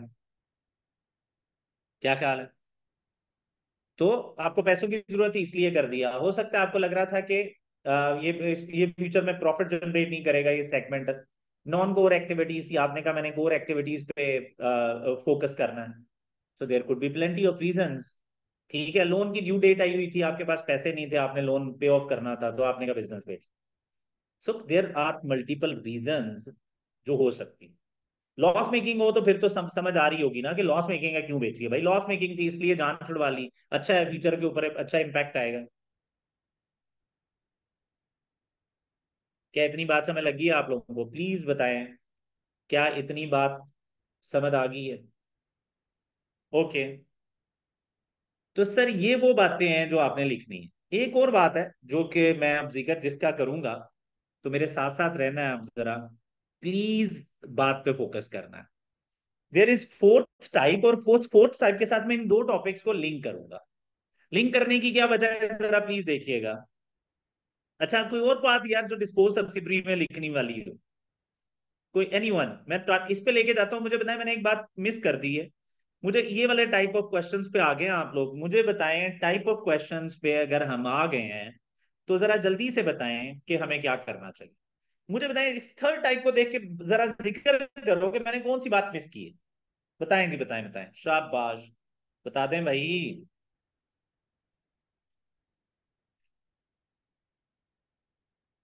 Exactly exactly. तो एक बच्चा सही बोल रहा है। और वो क्या बोल रहा है जी? Exactly exactly. वो कह रहे सर आईफरएस फाइव की बात ही नहीं की आपने। Very important IFRS five ratio analysis IFRS five is very important impact of on equity and loan सिर्फ़ पेरेंट का होगा।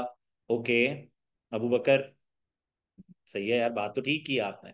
गुड अब आ जाए यार जरा। अभी जो बात मैं कह मिस कर गया था दैट वाज उसकी अगर हम बात करें तो वो था आईफ्रेस फाइव की इंप्लीकेशन मुझे बताइए, पहले दो पॉइंट्स के साथ आईफ्रेस फिफ्टीन बड़ा आईफ्रेस फाइव बड़ा मिलता जुलता है। सर, अगर पिछले साल एक बिज़नेस था, इस साल नहीं है। तो क्या ये लाइक विद लाइक कंपैरिजन है? आंसर है नो सर, पिछले साल एक बिज़नेस था, इस साल हमने बेच दिया, चाहे आखिरी दिन बेचा, चाहे पहले दिन बेचा। But the point is point is point is मुझे बताएँ कि क्या एनालिसिस जो डिस्पोज बिज़नेस है उसके बगैर होना चाहिए या उसके साथ? तो सर आंसर है उसके साथ होना चाहिए। आंसर है उसके साथ होना चाहिए, उसके बगैर होना चाहिए। जरा जल्दी से बताएँ यार, इसके बगैर होना चाहिए ना। यहीं पे आपको आईएफआरएस यहीं पे आप लोगों को I F R S five help करता है। मुझे बताएँ आईफरस फाइव किस तरह हेल्प करेगा? सर, यहाँ पे आपने आईफरस फाइव की तारीफ़ करनी है, सर। इस क्वेश्चन में आपने आईफरस फाइव की तारीफ़ करनी है, सर। आपने आईफरस फाइव की तारीफ़ करनी है। तो बच्चों, क्या तारीफ़ करेंगे आप आईफरस फाइव की? जी, सर। तो sir IFRS five IFRS five IFRS five का सबसे पहला बेनिफिट ये होता है बच्चों, कि वो डिसकंटिन्यूड ऑपरेशन को अलहदा कर देता है। डिसकंटिन्यूड ऑपरेशन को वो सेपरेटली प्रेजेंट करके ये दोनों मसले हल कर देता डिसकंटिन्यूड ऑपरेशन प्रॉफिट और loss as a single line item दिखाता है वो प्रॉफिट और लॉस ऑन डिसकंटिन्यूड ऑपरेशन बताएँ जरा जल्दी से। तो profit loss on discontinued operation उसने as a single line item दिखाना होता है। सेपरेट कर देना होता है उसने। तो मुझे बताएँ कंपेरेबिलिटी इंक्रीज होगी या नहीं होगी? सिंगल लाइन आइटम सेपरेट कर दिया उसने। तो मुझे बताएँ कंपेरेबिलिटी बेहतर होगी या नहीं होगी? फ्यूचर प्रिडिक्टेबिलिटी बेहतर होगी या नहीं होगी? होगी ना? तो आपने ये बात करनी है कि अगर आईफरस फाइव हो जाए तो बहुत अच्छा है। तो फिर आपने आईफरस फाइव की तारीफ़ ये कह के करनी है कि देखें जी आईफरस फाइव ने हमारे एनालिसिस को बेहतर कर दिया। तो ये इनहेंस करता है it enhances predictivity prediction predictivity comparability और ये पिछले सालों को भी कहता है कि वो करके दिखाओ कंपेरेबिलिटी अगर इन दोनों एमसीक्यूज में से एमसीक्यूज आ जाए तो मैंने एक एमसीक्यूज कराया था। प्राइमरी रीजन क्या है? कंपेरेबिलिटी या प्रिडिक्टिविटी प्लीज़ बताएँ यार प्राइमरी रीजन क्या मैंने एमसीक्यूज कराया था जान बूझ के कराया था मैंने एमसीक्यूज आप लोगों को लग रहा था कि मैं ऐसे ही टॉपिक्स पिक कर रहा हूँ। मैंने बड़ी केयरफुली टॉपिक पिक किए थे एक एक एमसीक्यूज भी। तो अकल करना जरा। अगर एक बात लिखनी पड़ी तो प्रिडिक्टिविटी लिखनी है एमसीक्यूज में। बेसिक रीजन प्रिडिक्टिविटी बढ़ाना होता है। अच्छा सर, ये तो बड़ा मुश्किल काम है। मुश्किल नहीं है। आईएसबी फ्रेमवर्क आप लोगों ने पढ़ा हुआ है? बताएँ जरा। अगर आपने I A S B framework पढ़ा हुआ है तो मुझे बताएँ जरा प्रिडिक्टिविटी किधर आता है और कंपेरेबिलिटी किधर आता है? पता है किसी को? है कोई बच्चा जिसको पता हो?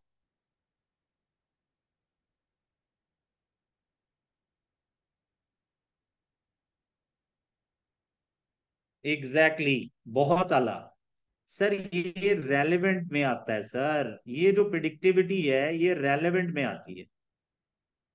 ये रेलेवेंट में आती है। और रेलेवेंट फंडामेंटल क्वालिटी है। ये दिस इज़ फंडामेंटल क्वालिटी और ये जो कंपेरेबिलिटी है, ये इनहेंसिंग है। अब आप बताएँ इनहेंसिंग क्वालिटी पे फोकस करना चाहिए हमें या फंडामेंटल पे? किसी भी स्टैंडर्ड को किस पे फोकस करना चाहिए? आंसर एनहेंसिंग पे। तो आई होप आप लोगों को ये फ्रेमवर्क के साथ भी हमने लिंक कर दी।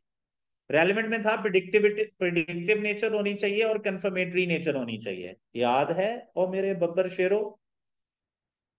तो सर आईफरस 15 की आपने आईफरस 5 की तारीफ़ करनी है आपने। अब मैं आप लोगों को समझाऊँगा एक और टाइप ऑफ़ क्वेश्चन बस दो टाइप्स रह गई हैं टोटल पाँच टाइप्स हैं। ये वो मेजोरिटी बातें हैं जिनका आपने ज़िक्र करना। है सर प्लीज़ ये फ्रेमवर्क अपने माइंड में लेके जाना है। कोशिश करनी इन बातों पे बात करो। जब आप करते जाएँगे तो क्वेश्चन से रेलिवेंट होते जाएँगे। ऑब्वियसली चीज़ें क्वेश्चन से ढूंढेंगे आप। ठीक है? आगे जी। पता तो हो करना है क्या जा रहे हैं आप? लें जी हमने अभी तक सिर्फ़ थ्री टाइप्स ऑफ़ जो क्वेश्चन uh, है उन पे बात की है। वी आर एक्चुअली टॉकिंग हम पॉइंट्स इकट्ठे कर रहे हैं। कि यार ये पॉइंट्स हैं जो इधर लिखने हैं, ये पॉइंट्स इधर लिखने हैं। और नॉर्मली बच्चे का माइंड इस स्टेज पे क्लियर नहीं होता। मतलब उसको पता होता है कि यार ये बात भी हुई थी, ये बात भी हुई थी बट क्लैरिटी एक्चुअली मिसिंग होती है। तो इसको हम कहते हैं कि एक माइंड में फॉग आई हुई है। तो फॉग जिस तरह फॉग चल रहा है ना इंडिया वाले कहते हैं। इन द सेम वे हम क्या कहते हैं कि एक इस इस स्टेज पे रेशोज को लेके एक फॉग क्रिएट हो जाता है माइंड में कि पता नहीं क्या लिखना है। आप कहते हैं अच्छा लिख लूँगा मैं कुछ ना कुछ। सर मैं आपको पॉइंट्स दे रहा हूँ। जिन पॉइंट्स को आपने फॉलो करना है जब एक स्पेसिफिक टाइप का क्वेश्चन आए। अब आ जाए यार गाइस अब जी।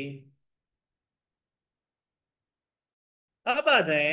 अगर आईफरएस फाइव अप्लाई ना हुआ तो क्या होगा? तो कंपेरेबिलिटी डिस्टर्ब होगी। आपको पता है कंपेरेबिलिटी डिस्टर्ब होगी?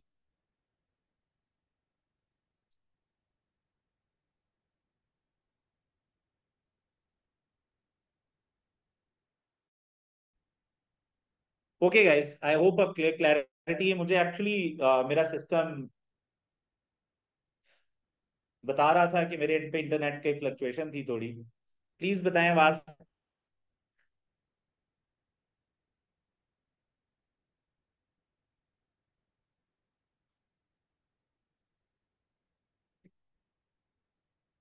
जी अब्दुल्ला कराएँगे एग्ज़ाम्पल अभी कराएँगे। आपको क्वेश्चन तैयार किया हुआ है हमने। हम अभी कराएँगे एग्ज़ाम्पल ओके गाइस अब आते हैं यार बच्चों। प्लीज़ जरा बात समझनी है। प्रॉफिट या loss from discontinued operation single line item है। आपको, मुझे सिर्फ़ ये को बता सकता है, कल ही परसों पढ़ा था हमने, कल या maybe day before yesterday मुझे बताइए डिसकंटिन्यूड ऑपरेशन का प्रॉफिट लॉस किन दो चीज़ों से मिलकर बना कैलकुलेट हुआ होगा। प्लीज़ बताएँ यार। अच्छा चले, मैं अब इसको इधर नहीं ज़िक्र कर रहा। मैं इस पे नहीं कर रहा, मैं I don't want to waste any further time okay so let's move towards fourth type और फिफ्थ टाइप अच्छा फोर्थ टाइप को थोड़ी देर के लिए मैं साइड पे रख के I am just want to focus on fifth type fourth पे अभी मैं बात करूँगा, मैं नंबर नहीं दे रहा उसको।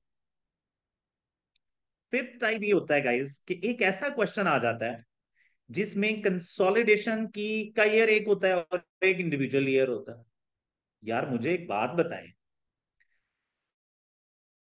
अगर 2023 का ईयर है और वो कंसोलिडेटेड है,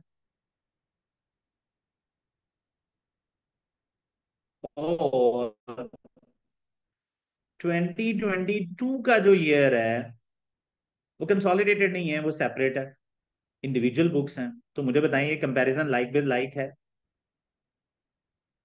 और वाइस वर्सा वाइस वर्सा भी हो सकता है। और 2023 इंडिविजुअल है, और 2024 जो है वो कंसोलिडेटेड ये वाइस वर्सा भी हो सकता है। Sorry 2022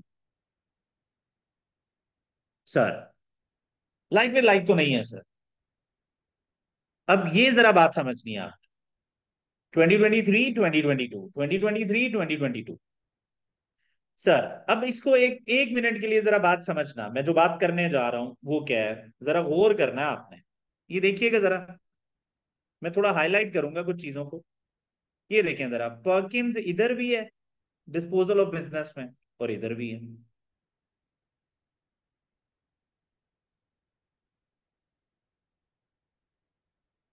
जी सर, वही बताने लगा हूँ। बहुत आला, मिस्टर अब्दुल्ला, बहुत आला। जी सर, अगर आप और करें तो पिरलो इधर भी है और पिरलो इधर भी है। क्या ख्याल है? कर्ल कंपनी इधर भी है और कर्ल कंपनी इधर भी है। ये कंपनी इधर भी है, इधर भी है। देख रहे हैं आप?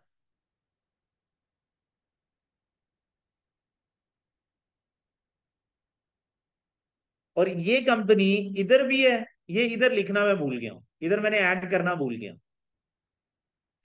सर अगर आप थोड़ा सा और करें, ये सिचुएशंस कब बनेगी? 2022 वाली सिचुएशन कब बनेगी? तो मैं चाह रहा हूँ कि मैं इसको इधर से ले जाऊँ उधर। मेरे ख्याल है मुझे ये अलाउ नहीं करेगा वन नोट के मैं इसको पिक करूँ। चलें। छोड़ें। जी सर आपको पता है 2022 और 2023 कब बनेगा? जब आप बिज़नेस इक्वायर कर रहे होंगे। सर आप बिज़नेस जब इक्वायर कर रहे हो एग्जैक्टली exactly. 2022 में इंडिविजुअल 2023 में बिज़नेस इक्वायर कर लिया तो कंसोलिडेटेड पेरेंट सब्सिडरी मिलके हैं। उधर सिर्फ़ पेरेंट था। जो 2022 में पेरेंट सब्सिडरी मिलके थे, अब सिर्फ़ पेरेंट रह गया क्योंकि सब्सिडरी आपने बेच दी। तो सर ये भी हो सकता है। तो टेक्निकली ये वाला जो पार्ट है ये फोर्थ और सेकंड और थर्ड ही है, यानी सेकंड और थर्ड ही है। तो अब ये जो फोर्थ और फिफ्थ है, इस पे आज मैं बात नहीं करूँगा, क्योंकि मैंने क्वेश्चन भी कराने हैं, मैं ऐसे तो नहीं ना कि बस खत्म कर दूँ मैं। पॉइंट्स में दे रहा हूँ but I just want them to apply as well so I want to apply all the points जो मैंने आपको दिए हैं, इन तीन टाइप्स पे। कल हम इन दो पे बात करेंगे। इज़ दैट ओके कल हम इन दो पे बात करेंगे। कि एक्विजिशन डिसीजंस लेने आपने? कि दो कंपनीज़ गिवन है कैसे एक्वायर करें मैनिपुलेशन है फेवरेबल ट्रांजेक्शन है नीड टू बी रिमूव्ड तो किस तरह मैनिपुलेशन रिमूव करनी है? पहले फाइनेंशियल स्टेटमेंट एडजस्ट करेंगे। देखें इस, ये भी बड़ा कॉमनली आस्क क्वेश्चन है ये वाला। डन तो अब नेक्स्ट देखते हैं जरा कि हमने करना क्या है। तो मैं अब आ रहा हूँ कुछ बेसिक बातों पे और फिर हम रेशियो एनालिसिस के एक क्वेश्चन पे चलेंगे जिसमें हम बिज़नेस बेच रहे हैं। फिर एक और क्वेश्चन पे चलेंगे जिसमें हम बिज़नेस बेच रहे हैं। फिर एक और क्वेश्चन पे चलेंगे जो कि मैं आपको वीडियो फॉर्म में भेजूँगा आईएफआरएस 5 की एप्लीकेशन है जिसके ऊपर। Do's in ratio analysis sir this is the most important uh, things जो आप लोगों ने लिखनी है जरा प्लीज़ चेक करें। तो एग्जामिनर का पहला एतराज़ आप लोगों के साथ पता क्या है? Read the requirement carefully sir वो लोग कहते हैं कि ये लोग रिक्वायरमेंट को रीड नहीं करते। रिक्वायरमेंट में कुछ इंडिकेशन होती हैं। बहुत क्लियर इंडिकेशन होती हैं, आप उसे फॉलो ही नहीं कर रहे होते तो एग्जामिनर का पहला एतराज़ आपसे ये है कि बच्चे रिक्वायरमेंट को नहीं पढ़ते। रिक्वायरमेंट के नीचे कुछ नोट्स लिखे होते हैं, हम नोट्स को नहीं पढ़ते। So read the requirement carefully पहला पॉइंट है ये। आपको पता है कि मैं जब क्लास में पढ़ाता हूँ तो मैं रिक्वायरमेंट पे इतना ज़ोर देता हूँ, क्या है, क्यों है? समटाइम्स तो हम थर्टी थर्टी मिनट्स रिक्वायरमेंट ही पढ़ते रहते हैं कि समझो क्या है, क्या हो रहा है। So requirement is very important okay so first thing is you need to focus on requirement. Second, guys, use the maximum information given in the question in your analysis. Question में अगर कोई भी बात given है ना, कोई एक note लिखा हुआ है कि ये ये बनाते थे, ये ये बेचते थे बिज़नेस में रिडेंडेंसीज की हैं बिज़नेस क्लोज हो गया है बिज़नेस नया एक्वायर कर लिया है क्वेश्चन में जो जो इन्फॉर्मेशन है, उसको अपने एनालिसिस का पार्ट बनाना है, और ये भी चीज़ मिसिंग होती है लोगों के आंसर में से। Trend analysis if two years of the same company are given अगर सेम कंपनी के सेम कंपनी के टू इयर्स गिवन है तो ट्रेंड एनालिसिस करना है। स्पेसिफिकली दो चीज़ों का मतलब अगर आपके पास टाइम नहीं है तो एटलीस्ट दो चीज़ों पे बात लाजमी करना रेवेन्यू और प्रॉफिट्स पे, कि वो ड्यूरिंग द ईयर इंक्रीज हुए हैं या डिक्रीज खाली अमाउंट्स को लेके।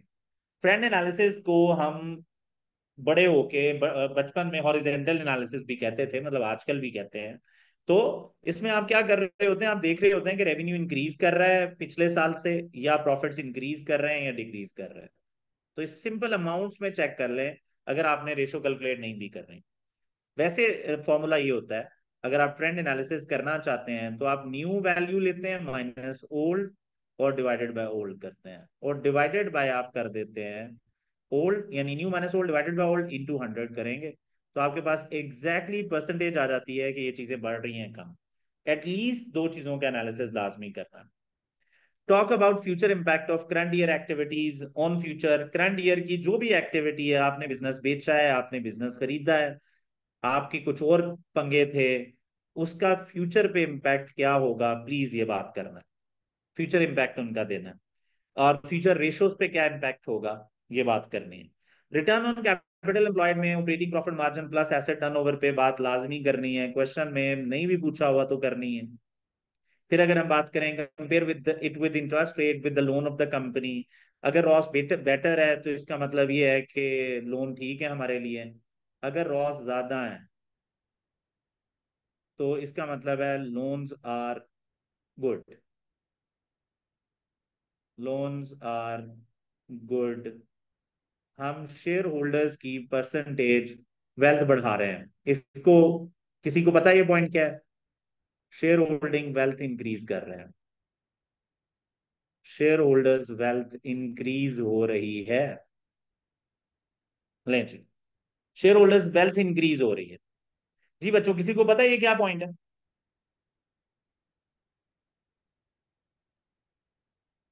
Okay anyone else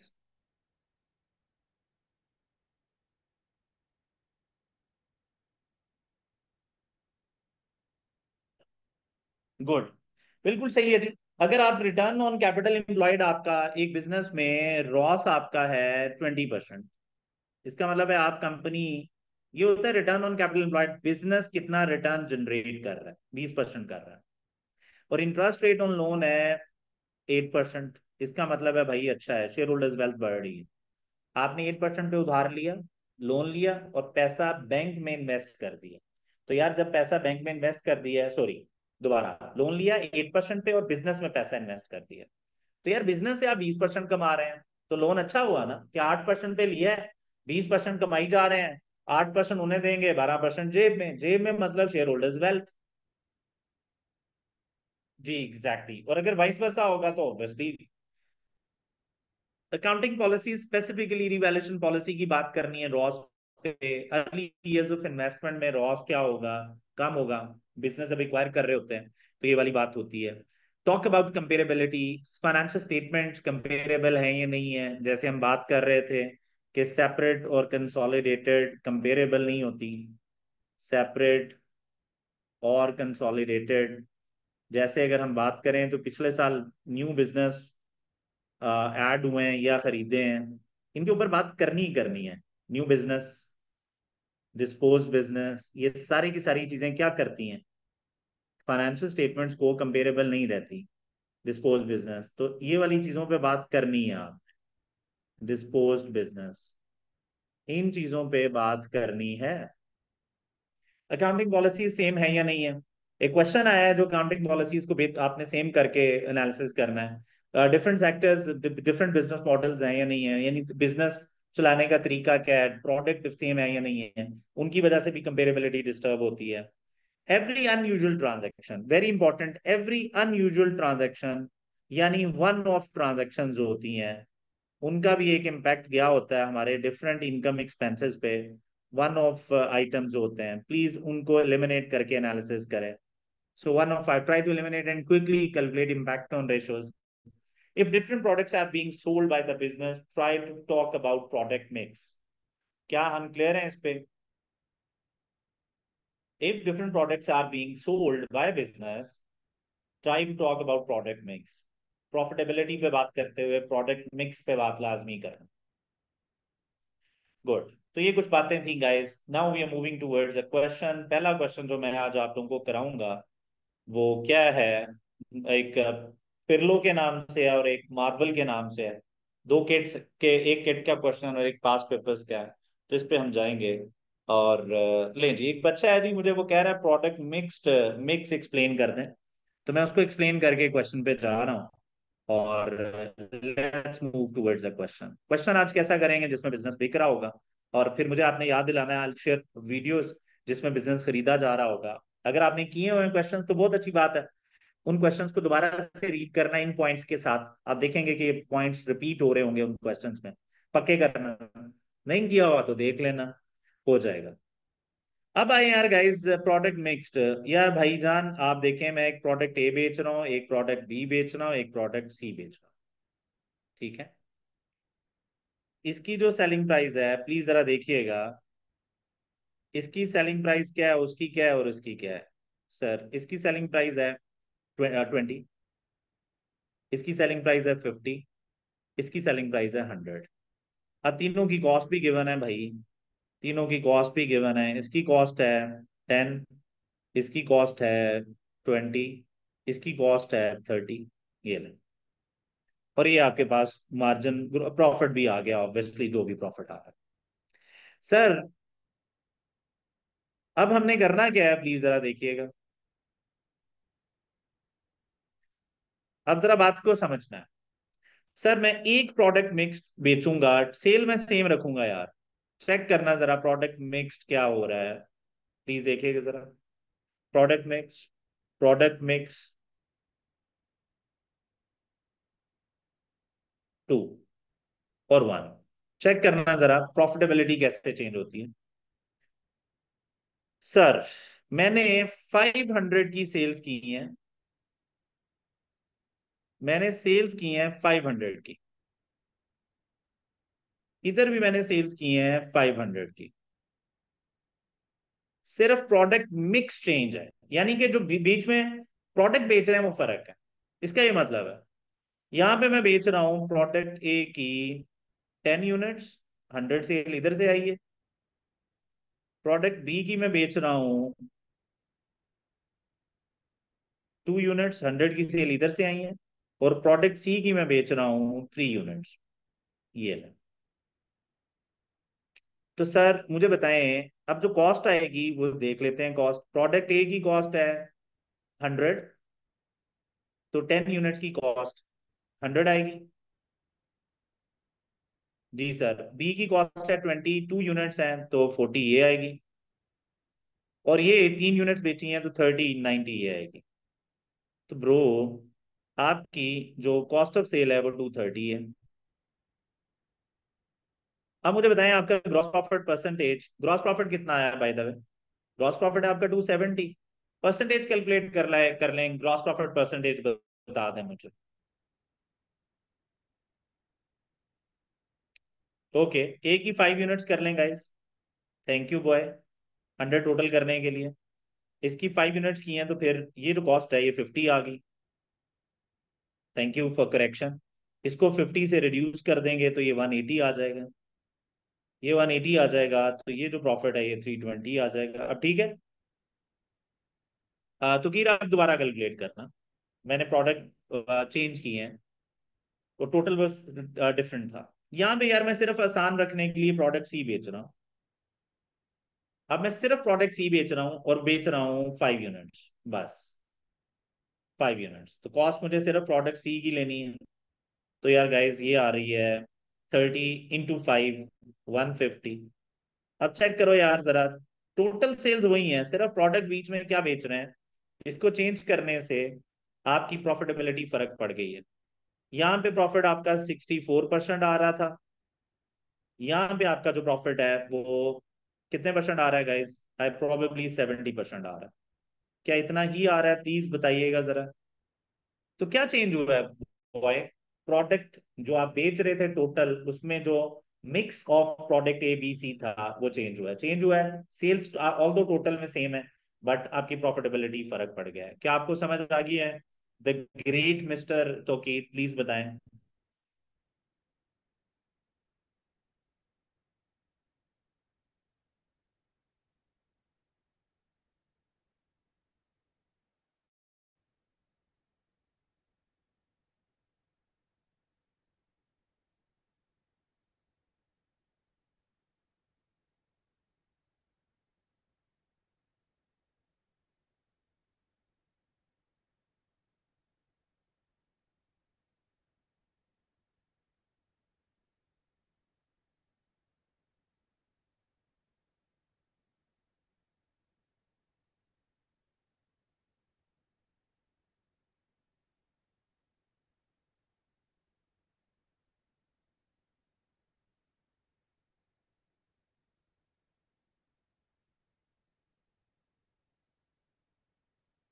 okay guys अब आ जाए यार बच्चों। तो यार प्रोडक्ट मिक्स पे बात करनी है। अगर कंपनीज़ सेलिंग डिफरेंट प्रोडक्ट्स तो ये बात डिफरेंट जगह पे आई है। तो प्लीज़ जरा देख लें। If different products are sold by the business try to talk about product mix ये बात की थी मैंने। बस कर दें अब आप। अब आ जाए यार गाइज़ नेक्स्ट है, ये काम तब तब होगा जब जब बिज़नेस खरीद रहे होंगे, बेच रहे होंगे। अगर उनकी डिफरेंट प्रोडक्ट्स थी डिफरेंट प्रोडक्ट वाला बिज़नेस बेच रहे हैं, तब तब ये बात भी आएगी।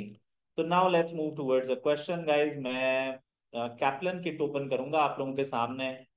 प्रोबेबली मेरे पास है ओपन है। तो लेट्स सी कि अब हमने करना क्या। सो so, कल कंपनी के नाम से एक क्वेश्चन है ये हम करेंगे। तो जरा देखते हैं जरा कि कल कंपनी का क्वेश्चन क्या है। क्विकली करेंगे guys we have 15 to 20 minutes more हम ये करेंगे देन फिर हम लोग क्वेश्चंस लेंगे. I give you three to four more questions please इनको देख लेना. Ratio analysis the most important thing जिसके बारे में आज आप कॉन्फिडेंट हो सकते हैं कि आपने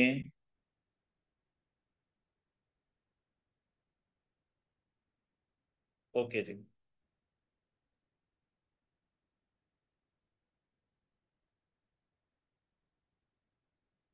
बात है यार गाइस इस क्वेश्चन में एक पॉइंट मैं चाह रहा हूँ कि एक पॉइंट हम ऐड कर लें डिस्पोजल ऑफ़ सब्सिडरी में, सिर्फ़ और सिर्फ़ business sold during the year में। आपको पता है ना, आपसे वो प्रॉफिट भी रिकैलकुलेट कराता है। ये बात जरा सुन लेना क्विकली बोलूँगा प्लीज़ जरा सुनिएगा examiner usually ask you to calculate profit या loss on disposal calculation of profit और लॉस अब ये रिक्वायरमेंट होती है, आपने वैसे नहीं कैलकुलेट करना होता। प्रॉफिट या loss calculate calculation of profit और loss on disposal of subsidiary मैं जो बात बताने आया हूँ, वो क्या है? जरा सुन लेना। मुझे एक बात बताएँ यार। मुझे बताएँ कि ये जो प्रॉफिट या लॉस है, ये कितनी बुक्स में कैलकुलेट होता है? आपको पता है? मैं ये बात बताने आया।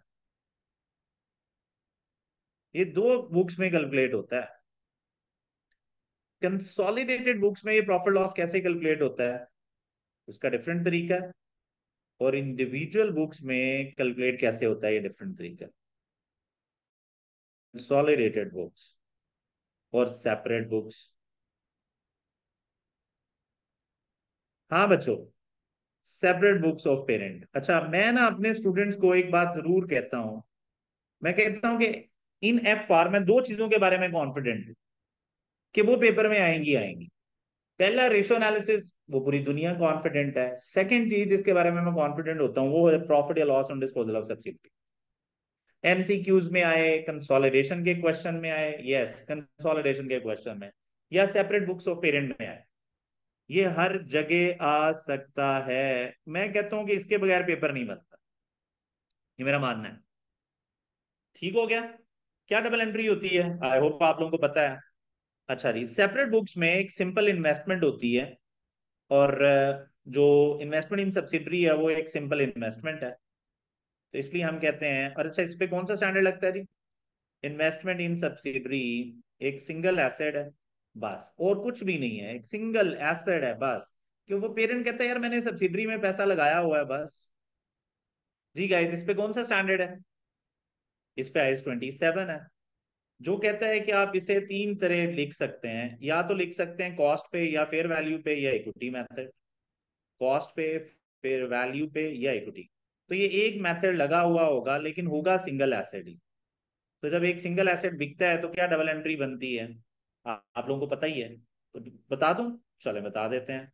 डेबिट करेंगे आप लोग कैश क्रेडिट करेंगे इन्वेस्टमेंट इन सब्सिडरी की जो भी कैरिंग वैल्यू है मेजोरिटी सिचुएशन में कॉस्ट ही होती है, लेकिन जो भी कैरिंग वैल्यू और balancing amount profit loss balancing amount loss और प्रॉफिट ये इंडिविजुअल बुक्स है। ये एक एसेट को बेचने की एंट्री है। अगर आप थोड़ा सा भी गौर करेंगे तो। यहाँ पे आप लोगों ने नेट एसेट्स को भी डेबिट करना होता है कैश रिसीव हुआ है नेट एसेट्स भी एलिमिनेट करने हैं। और क्या करना है आप लोगों ने? क्रेडिट करना है आप लोगों ने। जी सर गुडविल और क्रेडिट किसे करना है आप लोगों ने? जी सर बताइएगा जरा। अच्छा इसकी जगह एनसीए है एनसीए कर लेते हैं यार। Credit goodwill credit net assets और बैलेंसिंग अमाउंट प्रॉफिट लॉस तो लें जी डेबिट क्रेडिट लॉस प्रॉफिट आ जाता है। तो ये कुछ बातें हैं जो कि ये भी कैलकुलेट कराता है आपसे, बहुत ज़्यादा कराता है, क्योंकि ये सबसे बुरा क्वेश्चन जो स्टूडेंट्स अटेम्प्ट करते हैं वो यही है। इस वजह से बार बार एग्जामिनर ये काम करवाता है तो लेट्स सी जी। ये एंट्री होती है एसोसिएट को बेचेंगे तो यही एंट्री होगी ब्रो ठीक है? बड़ा होके पढ़ लेगा, हमजा, हम पढ़ते हैं इसको एस बी आर में।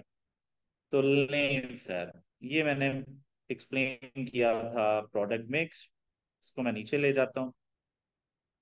ओके, अब आखिरी बात जी, बस क्वेश्चन पे जा रहे हैं, बाकी सब बातें बाद में।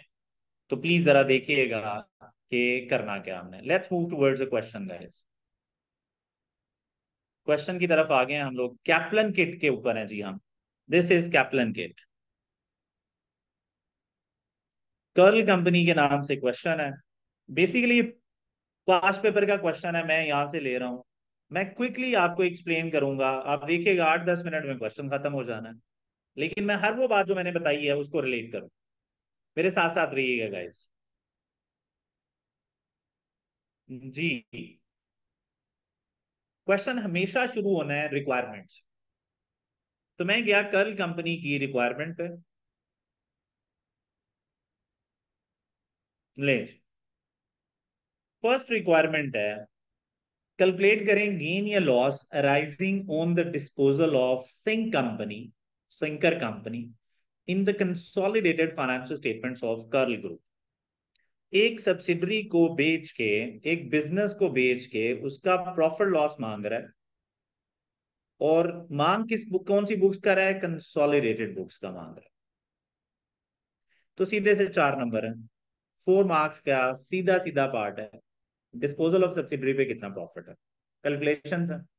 Okay based on the financial statements provided calculate the following ratios and comment on the performance and position of Curl Group for the year ended 31st December X8 and X7. कह रहा है ये रेशियोज कैलकुलेट करें gross profit margin operating profit margin return on capital employed current ratio gearing ratio अब आपको पता है कि जब मैंने return on capital employed calculate करना है ना रिटर्न ऑन कैपिटल एम्प्लॉयड तो इसकी एक्सप्लेनेशन में मैंने दो रेशियोज पे बात करनी होती है। एक रेशियो तो उसने कहा है कि कैलकुलेट करें। दूसरी रेशियोज उसने बोला नहीं। इसका मतलब है आई नीड टू कैलकुलेट तो मुझे ये भी कैलकुलेट करनी पड़ेगी ताकि मैं कमेंट्स कर सकूँ। आई नीड टू कैलकुलेट तो मुझे ये कैलकुलेट करनी पड़ेगी। सर ये बात आपने कहाँ बताई थी जब आप हमें पढ़ा रहे थे? मैं बता देता हूँ। मैं सिर्फ़ बार बार इसलिए रिलेट करना चाह रहा हूँ, इन पूरी की पूरी चीज़ों को रिलेट सिर्फ़ इसलिए करना चाह रहा हूँ ताकि आप लोगों को पक्का रहे कि यार ये पॉइंट्स जो हैं, जो रिलेट कैसे करने हैं। तो सम हाउ अगर किसी ने कुछ पॉइंट मिस कर दिया है तो मैं बार बार रिलेट करके समझाऊँगा। तो प्लीज़ जरा देखिएगा कि क्या करना है। तो वी हैव ये लेंज ये देखें जरा। रिटर्न ऑन कैपिटल एम्प्लॉय पे आप जब भी बात करते हैं ऑपरेटिंग प्रॉफिट मार्जिन पे और एसेट टर्नओवर पे बात करेंगे। आप इन दो पे बात करेंगे ऑपरेटिंग प्रॉफिट मार्जिन पे बात करेंगे and you are going to talk about asset turnover as well so ये वो काम है जो आपने करना है। जी, बिल्कुल। अब आ जाए यार guys let's move again towards question तो लेंज आगे कह रहा है, जी maximum five marks are available for the calculation of ratios thirteen marks हैं। कह रहा है comment on how the sale of Sinker company will affect the comparability check करें आप जरा वो क्या कह रहे हैं। कह रहे कि अच्छा यार, आपने सेल कर दिया तो इसका कंपेरेबिलिटी पे क्या इंपैक्ट आएगा? Of the consolidated financial statement for the year ended 31st December X7 and X8 ये थ्री मार्क्स अलहदा से उसने बता दिए अलहदा से ना बताया होता तो मैं एनालिसिस का पार्ट बनाता। मैंने तो बोल दिया कंपेरेबिलिटी पे बात हो रही है। लेकिन उसने अलहदा से थ्री मार्क्स दे दिए तो अब बच्चों, हम लोगों ने क्या करना है? सबसे पहले profit loss on disposal calculate करते हैं और उसके बाद ये क्वेश्चन सॉल्व करते हैं। ओके जी। उसने रेशियोज बोल दिए ना, देखें, पाँच रेशियोज हैं तो प्रोबेबली एक नंबर होता है। अच्छा आप एक और बात भी सुन लें। ये देखें गियरिंग रेशो में उसने खुद लिखा हुआ है कि उसे कौन सी गियरिंग चाहिए। उसे debt divided by debt plus equity चाहिए। अगर यहाँ पे लिख देता है डेट डिवाइडेड बाय इक्विटी चाहिए तो जो लिखा होता है वही कैलकुलेट करना। एग्जामिनर को बहुत बुरा लगता है कि अगर उसने यहाँ पे लिखा हुआ है डेट ओवर इक्विटी और आप फिर भी पागलों की तरह गियरिंग कैलकुलेट कर रहे हैं फुल वाली। तो ये एग्जामिनर को बहुत बुरी लगती है बात। तो प्लीज़ एग्जामिनर को नाराज़ नहीं करना आपने। अब आ जाए यार बच्चों लेट्स अंडरस्टैंड कि इस क्वेश्चन में क्या है। मैं ज़्यादा बातें इंफॉर्मेशन पढ़ूँगा ताकि हम एनालिसिस के साथ रिलेट कर पाए जो प्रॉब्लम लोगों को आता है। रेशो सारे कैलकुलेट कर लेते हैं। तो जरा और करना बच्चों। हर बात को हम रिलेट करेंगे जो जो बातें हमने पढ़ी हैं। First Jan X8, the Curl group consisted of a parent Curl company and two wholly owned subsidiaries. Sir, एक भाईजान पेरेंट थे, एक कर्ल था और दो सब्सिडरीज और थी। चार चार, एक पेरेंट तीन subsidiaries there were no intra group transaction during the year अच्छा ये अच्छी बात है कि इनके बीच में कोई इंट्रा ग्रुप ट्रांजेक्शन नहीं इसका मतलब है आपकी ग्रॉस प्रॉफिट मार्जिन आपके जो नेट प्रॉफिट मार्जिन है, उनपे इंट्रा ग्रुप ट्रांजेक्शन का इम्पैक्ट नहीं है। इसमें एक पॉइंट इंपॉर्टेंट होता है बच्चों पॉइंट्स बनाते जाना क्योंकि मैं शेयर नहीं करूँगा कॉपीराइट्स की वजह से। ओके जी, अब जरा और करना इंट्रा ग्रुप सेल्स का impact on individual financial statements तो होता है ऑन सेपरेट बुक्स क्योंकि सेपरेट बुक्स में लिखी होती हैं। Impact on separate books but इसका कोई इम्पैक्ट ग्रुप में नहीं होता नो इम्पैक्ट ऑन ग्रुप वजह बता सकता है कोई? No impact on group financial statements, on group. Consolidated financial statements. तो बता सकता है क्यों ऐसा? तो आंसर है, सर इंट्रा ग्रुप में, आपस में जो भी ट्रांजेक्शन होती हैं, वो पहले ही हम एलिमिनेट करके बैठे होते हैं, शाबाश। तो जब वो पहले ही एलिमिनेट करके बैठे होते हैं तो इसका मतलब है स्टोरी खत्म। Done so no impact on group transaction yes impact on separate books होती हैं। याद रखना, ये क्वेश्चन भी है, ये क्वेश्चन के पॉइंट्स हैं। The sale of one of the subsidiaries Sinker company लो जी, हमने एक सिंकर कंपनी को बेच दिया अच्छा भाई वे पेरेंट ही कर्ल था। I am sorry Curl parent है और दो सब्सिडरीज हैं तो टोटल तीन कंपनीज़ हैं गाइस ठीक है। One sale of one of the subsidiary Sinker company जैसे ही मैंने ये पढ़ा, मेरे माइंड में सेल ऑफ़ बिज़नेस के सारे पॉइंट्स आ गए।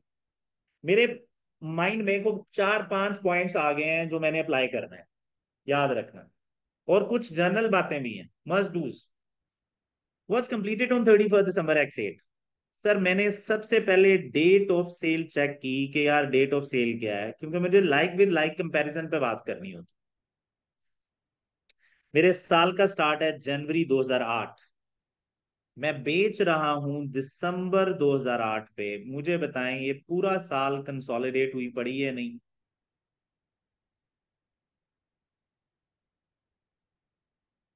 पूरा साल कंसोलिडेट हुई है या नहीं? कुछ लोग कह रहे हैं यस कुछ कह रहे हैं no this is interesting for me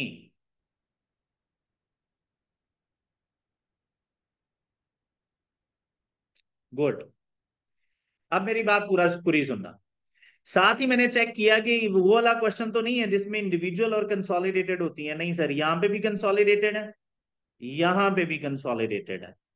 तो मुझे बताएँ, जो कंपनी मैं बेच रहा हूँ, क्या सिंह कंपनी कर्ल कंपनी इधर भी थी प्लस सिंह कंपनी भी थी, और प्लस सिंह मतलब Sinker obviously plus other subsidiary भी थी। इधर भी ऐसा ही था। बड़ा इंटरेस्टिंग काम होने लगा सर, इधर भी ऐसा ही है। अगर आप गौर करें तो कर्ल कंपनी भी है। ओके जी।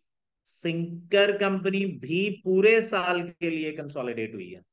प्लस अदर सब्सिडरी अब मुझे एक बात बताएँ। जरा चेक करना, क्या ये डिसकंटिन्यूड ऑपरेशन डिस्क्लोज नज़र आ रहा है आपको? Is there any discontinued operation is there any IFRS five की इंप्लीकेशन बताएँ बताएँ बताएँ बताएँ। तो अब इसका मतलब है मुझे पहला पॉइंट मिल गया कि मुझे आईफरएस फाइव की तारीफ़ करनी है इस क्वेश्चन में कि आईफरएस फाइव होता तो ज़्यादा बेहतर अप्लाई हो जाता और ये डिसकंटिन्यूड ऑपरेशन की डेफिनेशन पूरी कर देती। डिसकंटिन्यूड ऑपरेशन में ना guys major separate geographical region या major separate line of operation होता है। अब वो नहीं होगा, इसलिए उसने नहीं दिखाया। तो लेकिन अगर डिसकंटिन्यूड ऑपरेशन हो जाता तो उससे कंपेरेबिलिटी और प्रिडिक्टेबिलिटी बढ़ जानी थी, उससे एनालिसिस बेहतर होना था। लो जी एक पॉइंट मुझे मिल गया लिखने के लिए। पहला पॉइंट हो गया। अच्छा जी, अब दूसरा पॉइंट मुझे मिल गया लाइक विद लाइक है। लेकिन मुझे बताएँ जो क्वेश्चन में बैलेंस शीट गिवन है गाइस ये जो बैलेंसेस गिवन है, यहाँ पे कर्ल कंपनी यानी पेरेंट है, बिल्कुल है। यहाँ पे सिंह कंपनी थी लास्ट ईयर थी सिंकर और यहाँ पे अदर सब्सिडरी भी है। लेकिन मुझे बताएँ, जब आपने सिंकर कंपनी बेच दिया है, चाहे आखिरी दिन ही बेची जब आप बना रहे थे दिसंबर 2008 पे 2008 पे, जब आप फाइनेंशियल बना रहे थे तो थर्टी फ़र्स्ट दिसंबर पे ये बिक चुकी थी ना तो रात के 12 बजे ये मेरे पास सब्सिडरी नहीं थी। 12 बजे से दो मिनट पहले मैंने बेच दी 10 मिनट पहले बेच दी, आखिरी दिन बेची है, लेकिन रात के 12 बजे नहीं थी। तो रात के 12 बजे नहीं थी तो इसका मतलब है यहाँ पे कर्ल कंपनी मेरे पास है। यहाँ पे कर्ल कंपनी मेरे पास है, प्लस मेरे पास सिंकर कंपनी है। प्लस मेरे पास अदर सब्सिडरी भी है। Sir, Curl company, Sinker other subsidiary. मुझे बताया मैं सही कह रहा हूँ?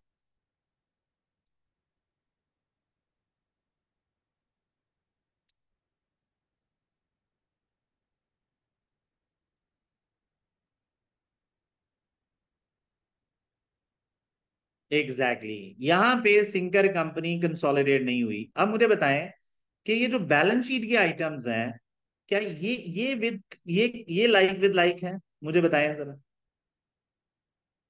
नो लाइक विद लाइक इसका मतलब ये है कि आपने देखा है कि मेरा पूरा फोकस था कि मैं कंपैरिजन चेक करूँ। नो लाइक विद लाइक क्या हम साथ में प्लीज़ बताएँ।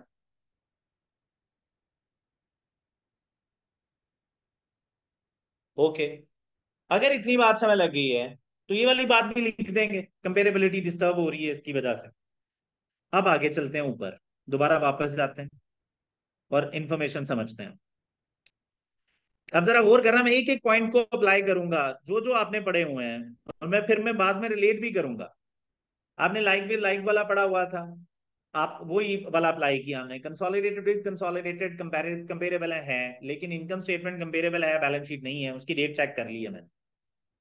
कह रहा Curl company sold its entire holding for twenty million cash लो जी कैश में बेची है लिक्विडिटी बेहतर होगी। लिक्विडिटी बेहतर होगी।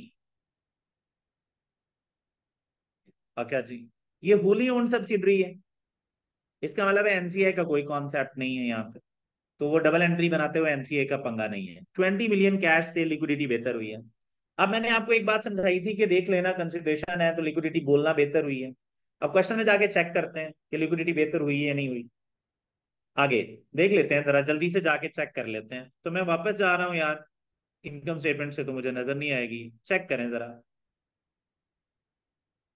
अच्छा जी चेक करें जरा। बड़ा मज़ेदार सा काम होने लगा है। करंट एसेट चेक करें। करंट एसेट्स तो कम हो रहे हैं। ये मैं क्वेश्चन मार्क लगा रहा हूँ ताकि समझ आए। सर इक्विटी बढ़ रही है नॉन करंट लाइबिलिटीज कम हो रही हैं।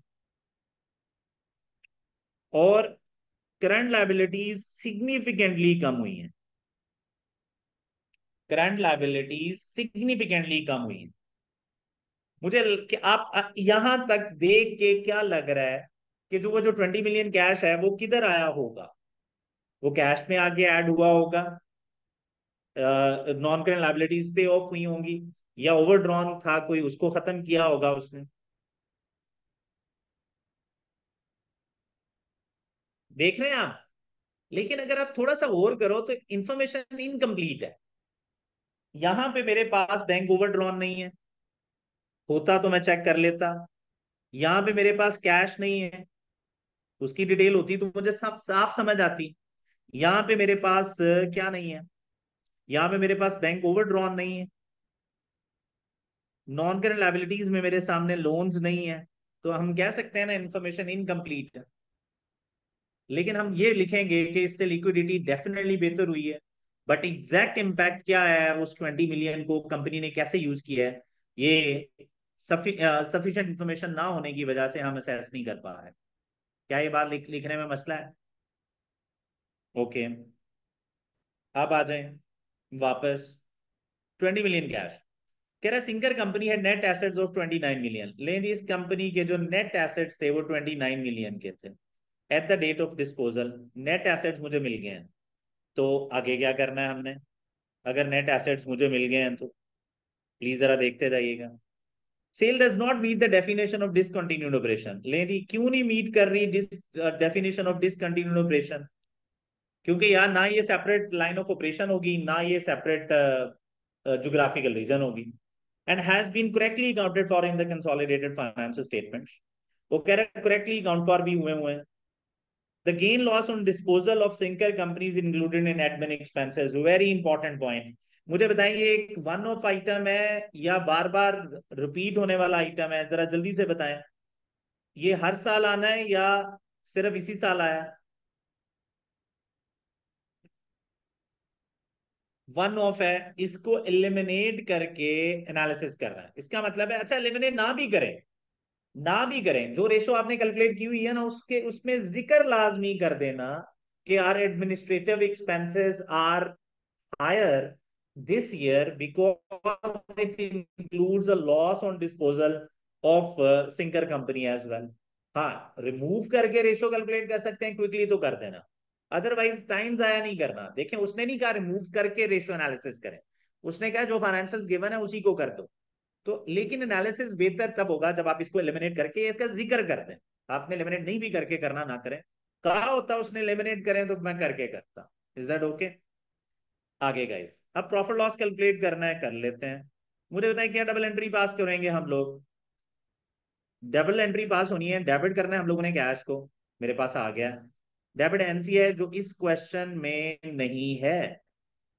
क्रेडिट मैंने करना है नेट एसेट्स को और क्रेडिट करना है मैंने गुडविल को। अब सर अगर आपको समझ आ गई है तो गुडविल नहीं है हमारे पास। नेट एसेट्स भी हैं ट्वेंटी नाइन और ट्वेंटी कैश भी है। तो ट्वेंटी कैश है। ट्वेंटी नाइन नेट एसेट्स हैं तो लो जी। ये दो चीज़ें तो मिल गई।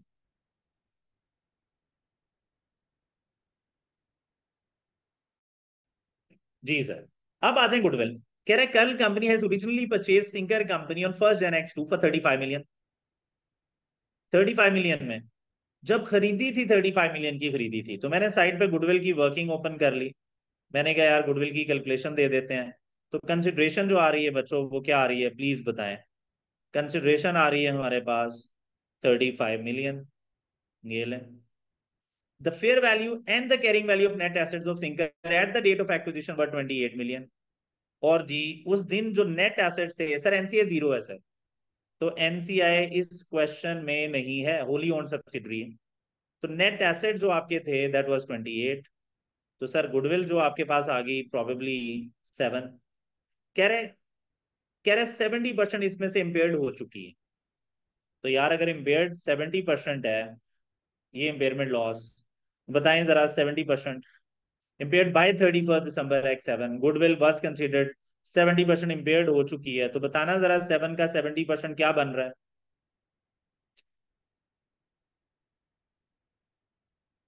ले जी फोर पॉइंट नाइन मिलियन का इम्पेयरमेंट लॉस भी आ गया जी। Finally we have goodwill year end पे तो कितनी गुडविल बच गई मेरे पास? अगर देखोगे तो ये गुडविल बच जाएगी मेरे पास टू पॉइंट वन इसको उठाएँ, इधर लिखें टू पॉइंट वन और यहाँ पे लॉस एनसीए है नहीं तो डेबिट साइड शॉर्ट है तो ये लॉस ऑन डिस्पोजल आ गया है। प्लीज़ बताएँ लॉस ऑन डिस्पोजल कितना है। जल्दी से what is loss on disposal ये साइड ट्वेंटी है गाइज़ शॉर्ट है, ये साइड होगी है थर्टी वन पॉइंट वन इसका मतलब है clearly we have a loss of eleven point one eleven point one का लॉस अब मुझे बताएँ कि ये एडमिन एक्सपेंस में पड़ा हुआ है। ये एडमिन एक्सपेंस में पड़ा हुआ है।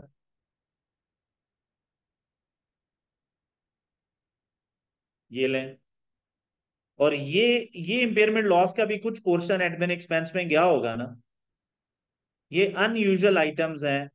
लें जी। तो ये वो चीज़ें हैं जो कि एलिमिनेट करके हमें प्योरली समझ आएगी कि जो चलते चलाता बिज़नेस है, उसका क्या सीन है।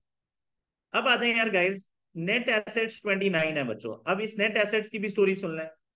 आपको पता है नेट एसेट्स में सारे दुनिया के एसेट्स यानी उस पूरी सब्सिडरी जो हमने बेची है सिंकर के, सारे एसेट्स हैं। Assets all current assets all long term liabilities all short term liabilities मुझे बताएँ ये सारी की सारी कंसोलिडेशन 2008 में है या नहीं है? बताएँ यार 2008 में ये सिंकर कंपनी की liabilities assets non current assets हैं या नहीं है? नहीं है? इसका मतलब ये है कि इस क्वेश्चन में, इस क्वेश्चन में मुझे उसने ये बताया नहीं कि इसके कितने नॉन करंट है, इसके कितने करंट है। इसका मतलब है, मैं इस सब्सिडरी को का एग्जैक्ट इंपैक्ट क्या है कैलकुलेट नहीं कर सकता मेरी बैलेंस शीट पर यानी ये करंट एसेट जो डिक्रीज हो रहे हैं, ये सिंकर के बीच में कितने हैं, मुझे नहीं पता। यहाँ पे non current liabilities pay off की हैं या सिंकर की थी, मुझे नहीं पता, क्योंकि जो भी सिंकर का था, वो तो लिमिनेट हो रहा है। तो मुझे नहीं पता ये सिंकर का है या पे ऑफ़ कुछ पेमेंट्स थी जो आपने पे ऑफ़ की।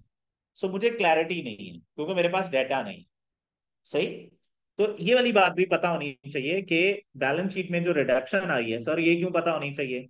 सर, क्योंकि जो सब्सिडरी के से कैश आया मैंने इसका इम्पैक्ट बताना होता है ना, कि किधर पड़ा हुआ है? तो मुझे नहीं पता इस क्वेश्चन में किधर गया है। ड्यू टू इनसफिशियंट इंफॉर्मेशन जो लाइबिलिटीज पे हुई है हुई है। करंट एसेट्स कम हो रहे हैं? हाँ हो रहे हैं, लेकिन हो सकता है कि करंट एसेट बहुत ज़्यादा थे। इस सब्सिडरी के वो चले गए इसलिए कम हो रहे हैं और कैश तो बाकी पड़ा हो मेरे पास। तो मुझे क्लियर कट कैश का की यूटिलाइजेशन इस क्वेश्चन में नहीं पता। आगे जरा देखें इंफॉर्मेशन क्या है। जरा और कर, करना। कहते following information is also relevant अब जो इन्फॉर्मेशन क्वेश्चन में है उसको कहीं ना कहीं उसका ज़िक्र किसी ना किसी रेशो में करना है। अब जरा मुझे बताना है क्या हुआ है। The majority of non current liabilities is comprised of bank loans लो जी वो कह रहा है कि नॉन करेंट लाइबिलिटीज मेजोरिटी जो है वो बैंक लोन है अब मुझे बताएँ बैंक लोन कम हुआ या नहीं हुआ जरा जल्दी से बताएँ तो मैं ऊपर गया मैंने नॉन करेंट लाइबिलिटीज में चेक किया 50 की रिडक्शन है अब मैं दो बातें लिखूँगा 50 की रिडक्शन जो है वो दो वजह से आई है। या तो 50 की रिडक्शन है कि जो सिंक कंपनी गई है सिंकर सब्सिडरी के साथ ये डी रिकग्नाइज हुए हैं। जब हमने सब्सिडरी बेच दी तो उसकी लाइबिलिटीज अब कंसोलिडेट नहीं हुई। कंसोलिडेट ना करने को डी रिकग्नाइज कहते हैं। इसलिए काम है। या फिर मैंने रीपेमेंट की है। उस पैसे से जो मेरे पास सब्सिडरी को बेच के आया है। लेकिन मुझे मुझे क्लैरिटी नहीं देख रहे हैं आप? आगे। Sales of Singh company represents 14 percent of the total group sales लो जी, मेरे पास ये पोजीशन आ गई है कि मैं सेल्स को एलिमिनेट करके बता सकता हूँ कि जो सब्सिडरी बिकी है, उसकी सेल्स क्या है। देख रहे हैं आप? इसका मतलब है मेरे पास मौका मिल गया है कि मैं एलिमिनेट कर दूँ। In two thousand 2008 however, in two, in march 2008 single company lost a significant customer contract resulting in a number of redundancies these redundancies cost amounting 15 million the 15 million redundancy cost and, are included in administration expenses overall singer company made an operating loss of 17 million तो मुझे बताएँ कि ये 15 million की रिटेंडेंसीज जो admin में पड़ी हुई हैं इनका वन ऑफ़ इवेंट है, इनका ज़िक्र करना है जब आप प्रॉफिटेबिलिटी पे बात करेंगे या नहीं। अगर आप ग्रॉस प्रॉफिट पे बात कर रहे हैं तो नहीं करना, क्योंकि ग्रॉस प्रॉफिट में ये है नहीं। किसके साथ बात करना है? ऑपरेटिंग प्रॉफिट्स के साथ।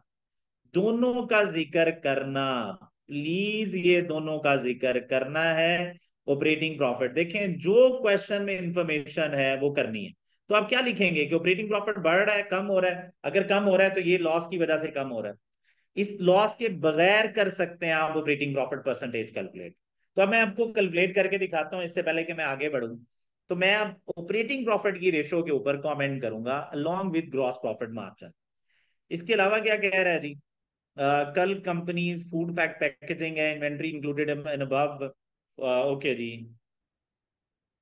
Sinker company had inventory 42 million लेकिन सिंगर की इन्वेंट्री भी गिवन है तो मुझे पता है उसकी इन्वेंट्री कितनी थी? 42 है। ले सर अब मैं क्या करने लगा हूँ बच्चों? इधर आने लगा हूँ। जरा गौर करना बच्चों। सर सेल्स के ऊपर बात करें। पहले मैं रेशियोज कैलकुलेट कर लूँ, फिर हम कमेंट बनाएँगे, ठीक है? तो प्लीज़ जरा देखिएगा। पहला जी ग्रॉस प्रॉफिट परसेंटेज कैलकुलेट करते हैं। I am unable to separate जो सब्सिडरी हमने बेची है। तो उसने मुझे कहा भी नहीं कि लैदा करो। लेकिन मुझे पता है, मुझे उसका इंपैक्ट बताना है। जितना बता सकूँगा। देखना जरा। ग्रॉस प्रॉफिट मार्जिन गाइस मुझे यहाँ पे जीपी परसेंटेज चाहिए। 2000x7 2000x8 gross profit margin मुझे चाहिए। तो को बताएगा जरा जल्दी से? 132 डिवाइडेड बाय 272 जी, मैं रिपीट कर रहा हूँ। सर, मैं, अरहम, मैं वही रिपीट करने के लिए इधर आया अभी रिटेंडेंसी पॉइंट्स वाला रिपीट करूँगा मैं। अभी करूँगा रिपीट मेरे साथ रहें जरा। मैं ये दो रेशियोज कैलकुलेट करके एग्जैक्ट उस पॉइंट को रिलेट करूँगा। ठीक है? तो मेरे साथ रहें। अब मुझे बताएँ जी क्या आ रहा है जी। एक्स सेवन में forty eight point five percent बस वन डेसिमल पॉइंट बताओ। टू थाउज़ेंड एक्स एट में one twenty four divided eighty nine देखना कितना अच्छा एनालिसिस करेंगे आप। Forty two point nine percent around three forty three percent ऐसा ही है। गुड अब मैं चाह रहा हूँ कि हम नेट प्रॉफिट परसेंटेज कैलकुलेट करें।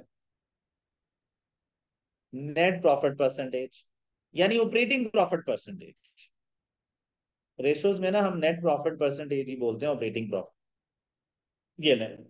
ये 96 डिवाइडेड बाय 272 कैलकुलेट करना जरा। अभी करते हैं आपसा प्लीज़ जरा पहले कैलकुलेट कर लें। उन्होंने मुझे कहा है प्लीज़ रिक्वायरमेंट देखें। उन्होंने मुझे नहीं कहा कि सब्सिडरी को निकाल के रेशोज कैलकुलेट करो। उन्होंने मुझे कहा ऐसे ही कैलकुलेट करो। तो मैं जो जो उन्होंने कहा मैं वो करूँगा। अपने एनालिसिस के लिए मैं सब्सिडरी को निकाल के करूँगा। ठीक है? ये बात समझे? Thirty five point three percent है गाइस ओके अब इस साल चेक करें जरा. Sixty four divided by two eighty nine sixty four divided by two eighty nine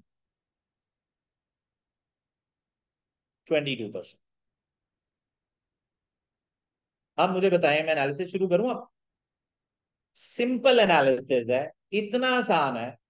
examiner खुद कहता है, यार, मैं तो पॉइंट्स दे दे के कह रहा हूँ कि ये पॉइंट ज़िक्र कर लो, ये कर लो। अब मेरे बच्चों मेरे साथ रहना। हम पॉइंट्स बनाने लगे और ये सारी बातें रिपीट करेंगे हम।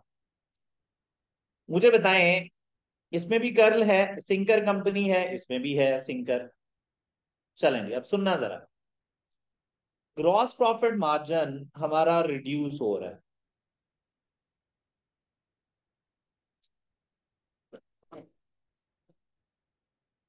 ग्रॉस प्रॉफिट मार्जिन हमारा रिड्यूस हो रहा है। हो गया रिड्यूस ओके अगर हमारा ग्रॉस प्रॉफिट मार्जिन रिड्यूस हो रहा है, अगर हमारा ग्रॉस प्रॉफिट मार्जिन रिड्यूस हो रहा है तो इसकी क्या वजह होगी? आंसर है चेक करना। आंसर है 272 से हम 289 पे आए हैं। तो सेल्स तो हमारी बढ़ रही है।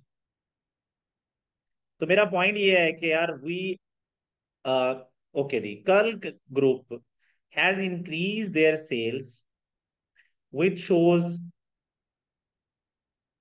कि उनकी परफॉर्मेंस बेहतर हुई है which shows good performance better performance अब चेक करना मैं लिंक कैसे करने लगा हूँ? सेल्स इंक्रीज हुई है विच शोज़ अब मैंने कहा था कि सेल इंक्रीज का ज़िक्र लाजमी करना जब एक ही कंपनी के दो साल के बाद। ये चेक करना जरा।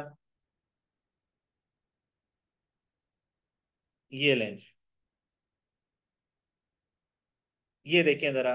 ट्रेंड एनालिसिस करें if two years of same company are given तो सेम कंपनी ही तो है।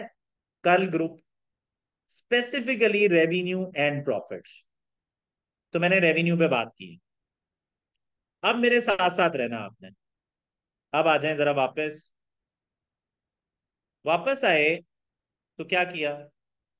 तो मैंने कहा, यार सेल्स इंक्रीज हुई है which shows a good performance or better performance than previous year company is expanding company has shown growth अब मैं परसेंटेज भी कैलकुलेट कर सकता हूँ। ये आपकी मर्ज़ी है कैलकुलेट करनी है, नहीं करनी है एनालिसिस आपका अपना अपना। मतलब अगर मैं कैलकुलेट कर लेता तो मैं कहता टू एटी नाइन इस ईयर की सेल है माइनस टू सेवेंटी टू पिछले साल की सेल्स हैं divided by two seventy two into hundred करूँगा तो मेरे पास एक परसेंटेज भी आ जाएगी कि रेवेन्यू कितने परसेंट से इंक्रीज हुआ है। तो कोई बता सकता है कितने परसेंट से इंक्रीज हुआ है? अच्छा देखें, ये आपकी अपनी मर्ज़ी आपने बताना है, नहीं बताना।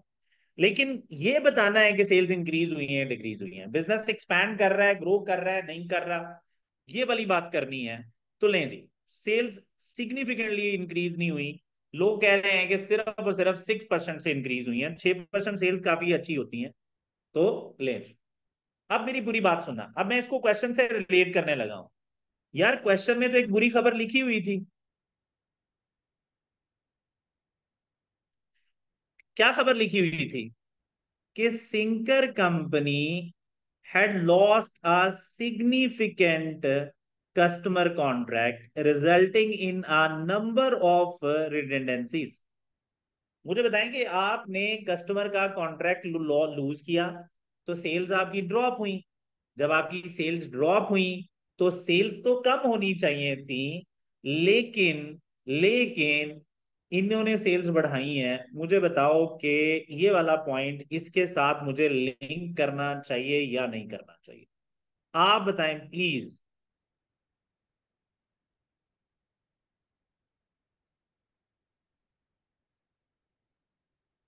despite of losing a major customer contract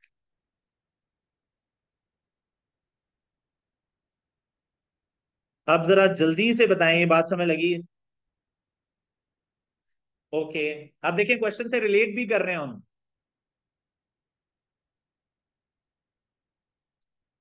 okay बच्चों, अब आ जाए यार बच्चों।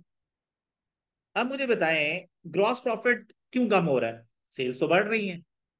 तो आंसर है, ये जो मेजर कस्टमर है maybe he is a high profit making customer major customer था, उसकी वजह से। और मे बी जो प्रोडक्ट मिक्स है, वो चेंज हो गया। अब अब हम डिफरेंट प्रोडक्ट्स बेचना शुरू हो गए हैं। प्रोडक्ट मिक्स जो है, वो चेंज हो गया।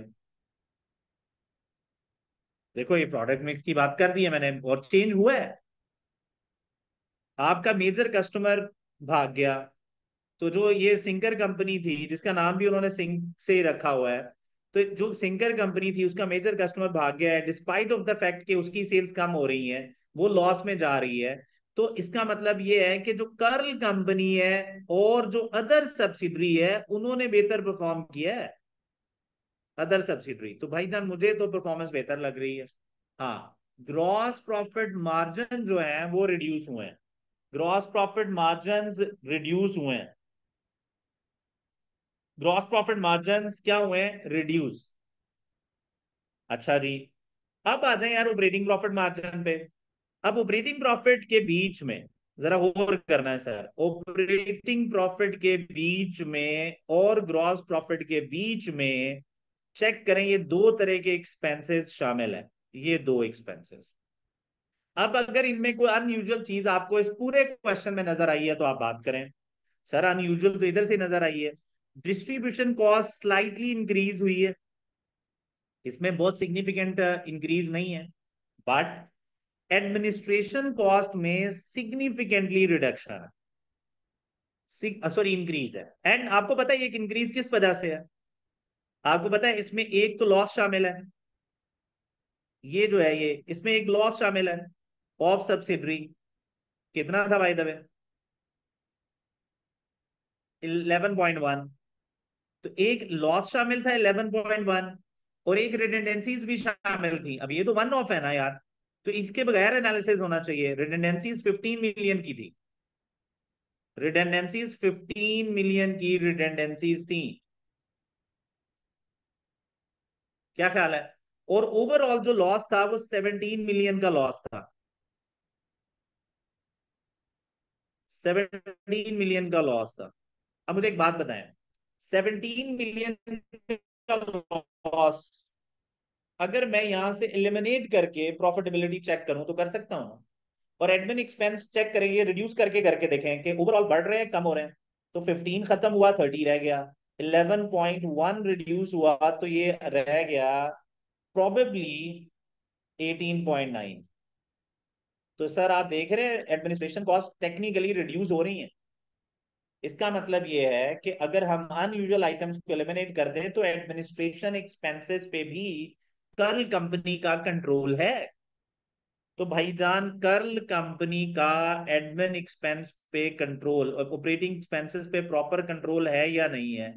आंसर है कंट्रोल है। ऑपरेटिंग एक्सपेंसेस पे कंट्रोल है। सर ये बात कब लिखनी होती है हमने सर जी सर सर हमने लिखनी होती है बात। जब हम लिखते हैं ऑपरेटिंग प्रॉफिट कम हो रहा है तो हम इसकी रीजन में दो रीजन लिखते हैं। एक ग्रॉस प्रॉफिट कम हो रहा है, इस वजह से ये कम है, देख लें। दूसरा एक्सपेंसेस आपके बढ़ गए हैं तो एक्सपेंसेस बढ़े हैं, लेकिन वो अनयूजुअल आइटम्स की वजह से बढ़े हैं। एक्सपेंसेस इंक्रीज हुए हैं बट अगर हम कर्ल कंपनी और अदर सब्सिडरी को देखें यानी इसके एक्सपेंसेस निकाल जो अनयूजल है। तो एडमिनिस्ट्रेशन एक्सपेंसेस लो हुए हैं। इसका मतलब है कर्ल कंपनी और जो कंपनी अदर सब्सिडरी है, यानी जो बाकी ग्रुप है, उसका एक्सपेंसेस पे कंट्रोल है। क्या इतनी बात आप लोगों को समझ आ गई? जिन लोगों ने बोला था कि रिटेंडेंसीज के बारे में बात करें।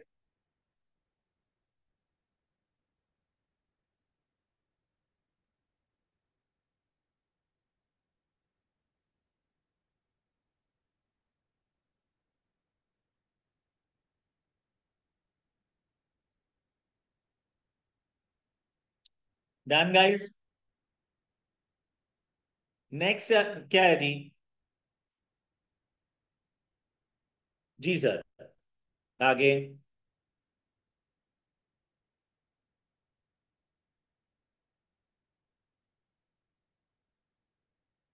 अच्छा जी। अब आ जाए यार जरा इधर। मुझे बताएँ कि यहाँ पे जब हम आएँगे तो हम पढ़ रहे हैं डिस्पोजल ऑफ़ सब्सिडरी वाले क्वेश्चन डिस्पोजल वाली सब्सिडरी में चेक करना है जरा कि हमने कौन कौन से पॉइंट डिस्कस कर लिए हैं।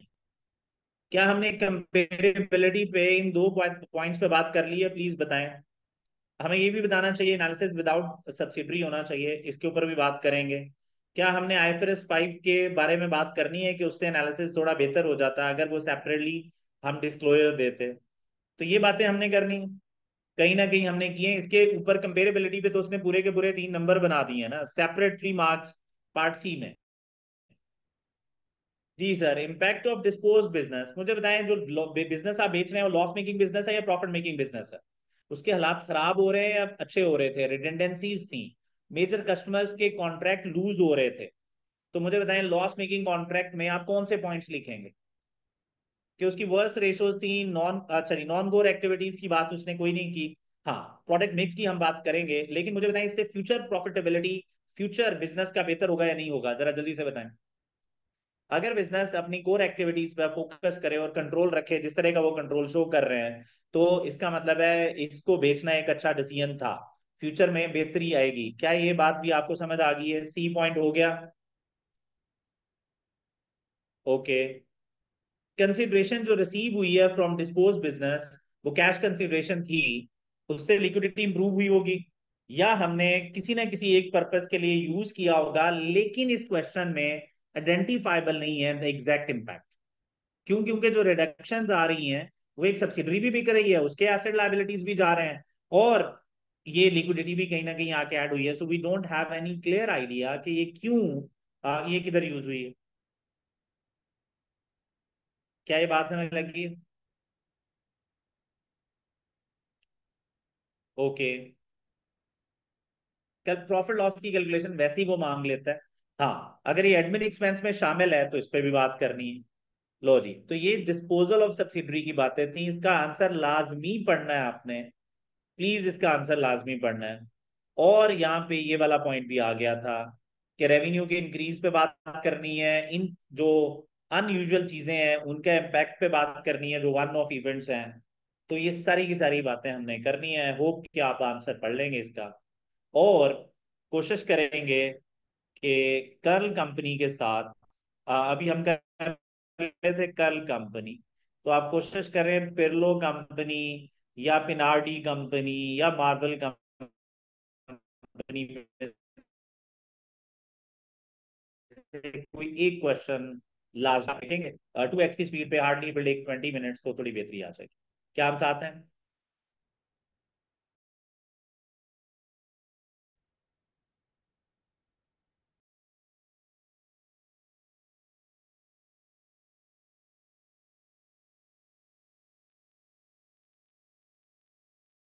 ओके गाइस लें जी। Thank you so much sir तो ये था हमारा आज का सेशन तो आप क्या करेंगे? मैं आपको बता देता हूँ, बल्कि रिकॉर्डिंग मैंने सेंड क्या करनी है? आप लोगों ने जाना है यूट्यूब पे। यूट्यूब पे ना जुबैर सलीम के नाम से एक चैनल है। आपने उसमें जाके रेशो एनालिसिस की एक प्लेलिस्ट बनी हुई। सर, उसमें कुछ चार पाँच क्वेश्चंस पड़े हुए हैं रेशोज के। प्लीज़ आपने वो देखना है क्या ये बात क्लियर है? जी सर, कल लेक्चर की रिकॉर्डिंग अपलोड हो जाएगी इंशाल्लाह बाय ट्वेल्व यूजली ट्वेल्व जो पीएम है, उस पर अपलोड होती है। सर, ये कैप्लन किट का क्वेश्चन था पास पेपर में बता देता हूँ। सितंबर दिसंबर ट्वेंटी मैं इसको अनफॉर्चुनेटली सेंड नहीं कर सकता। एज अ प्लाटीनियम स्टेटस हम लोग, लोगों के लिए कॉपी राइट्स के इशू बन जाते हैं, अगर हम इस तरह के क्वेश्चन शेयर करें। तो हम ये बुक यूज़ कर सकते हैं, वो भी उन्हीं के पास आके तो अदरवाइज़ इश्यूज़ बन जाते इसका पीडीएफ मैं अभी भेजने लगा, अभी भेज रहा हूँ मैं पीडीएफ ओके गाइस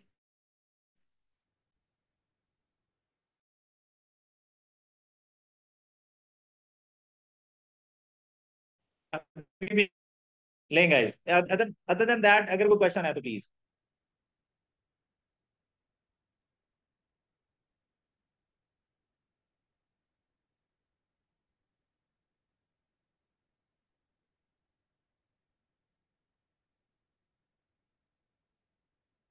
एक बच्चा है, वो कह रहा है, सर लॉस ऑन डिस्पोजल कैसे आया था? ब्रो बैलेंसिंग अमाउंट थी। ये देखें क्रेडिट साइड पे नेट एसेट्स 29 थे गुडविल 2.1 थी तो ये बनता है 31.1 और डेबिट साइड पे कैश सिर्फ़ 20 था तो 20 और 31.1 का डिफरेंस था 11.1 जो कि लॉस था।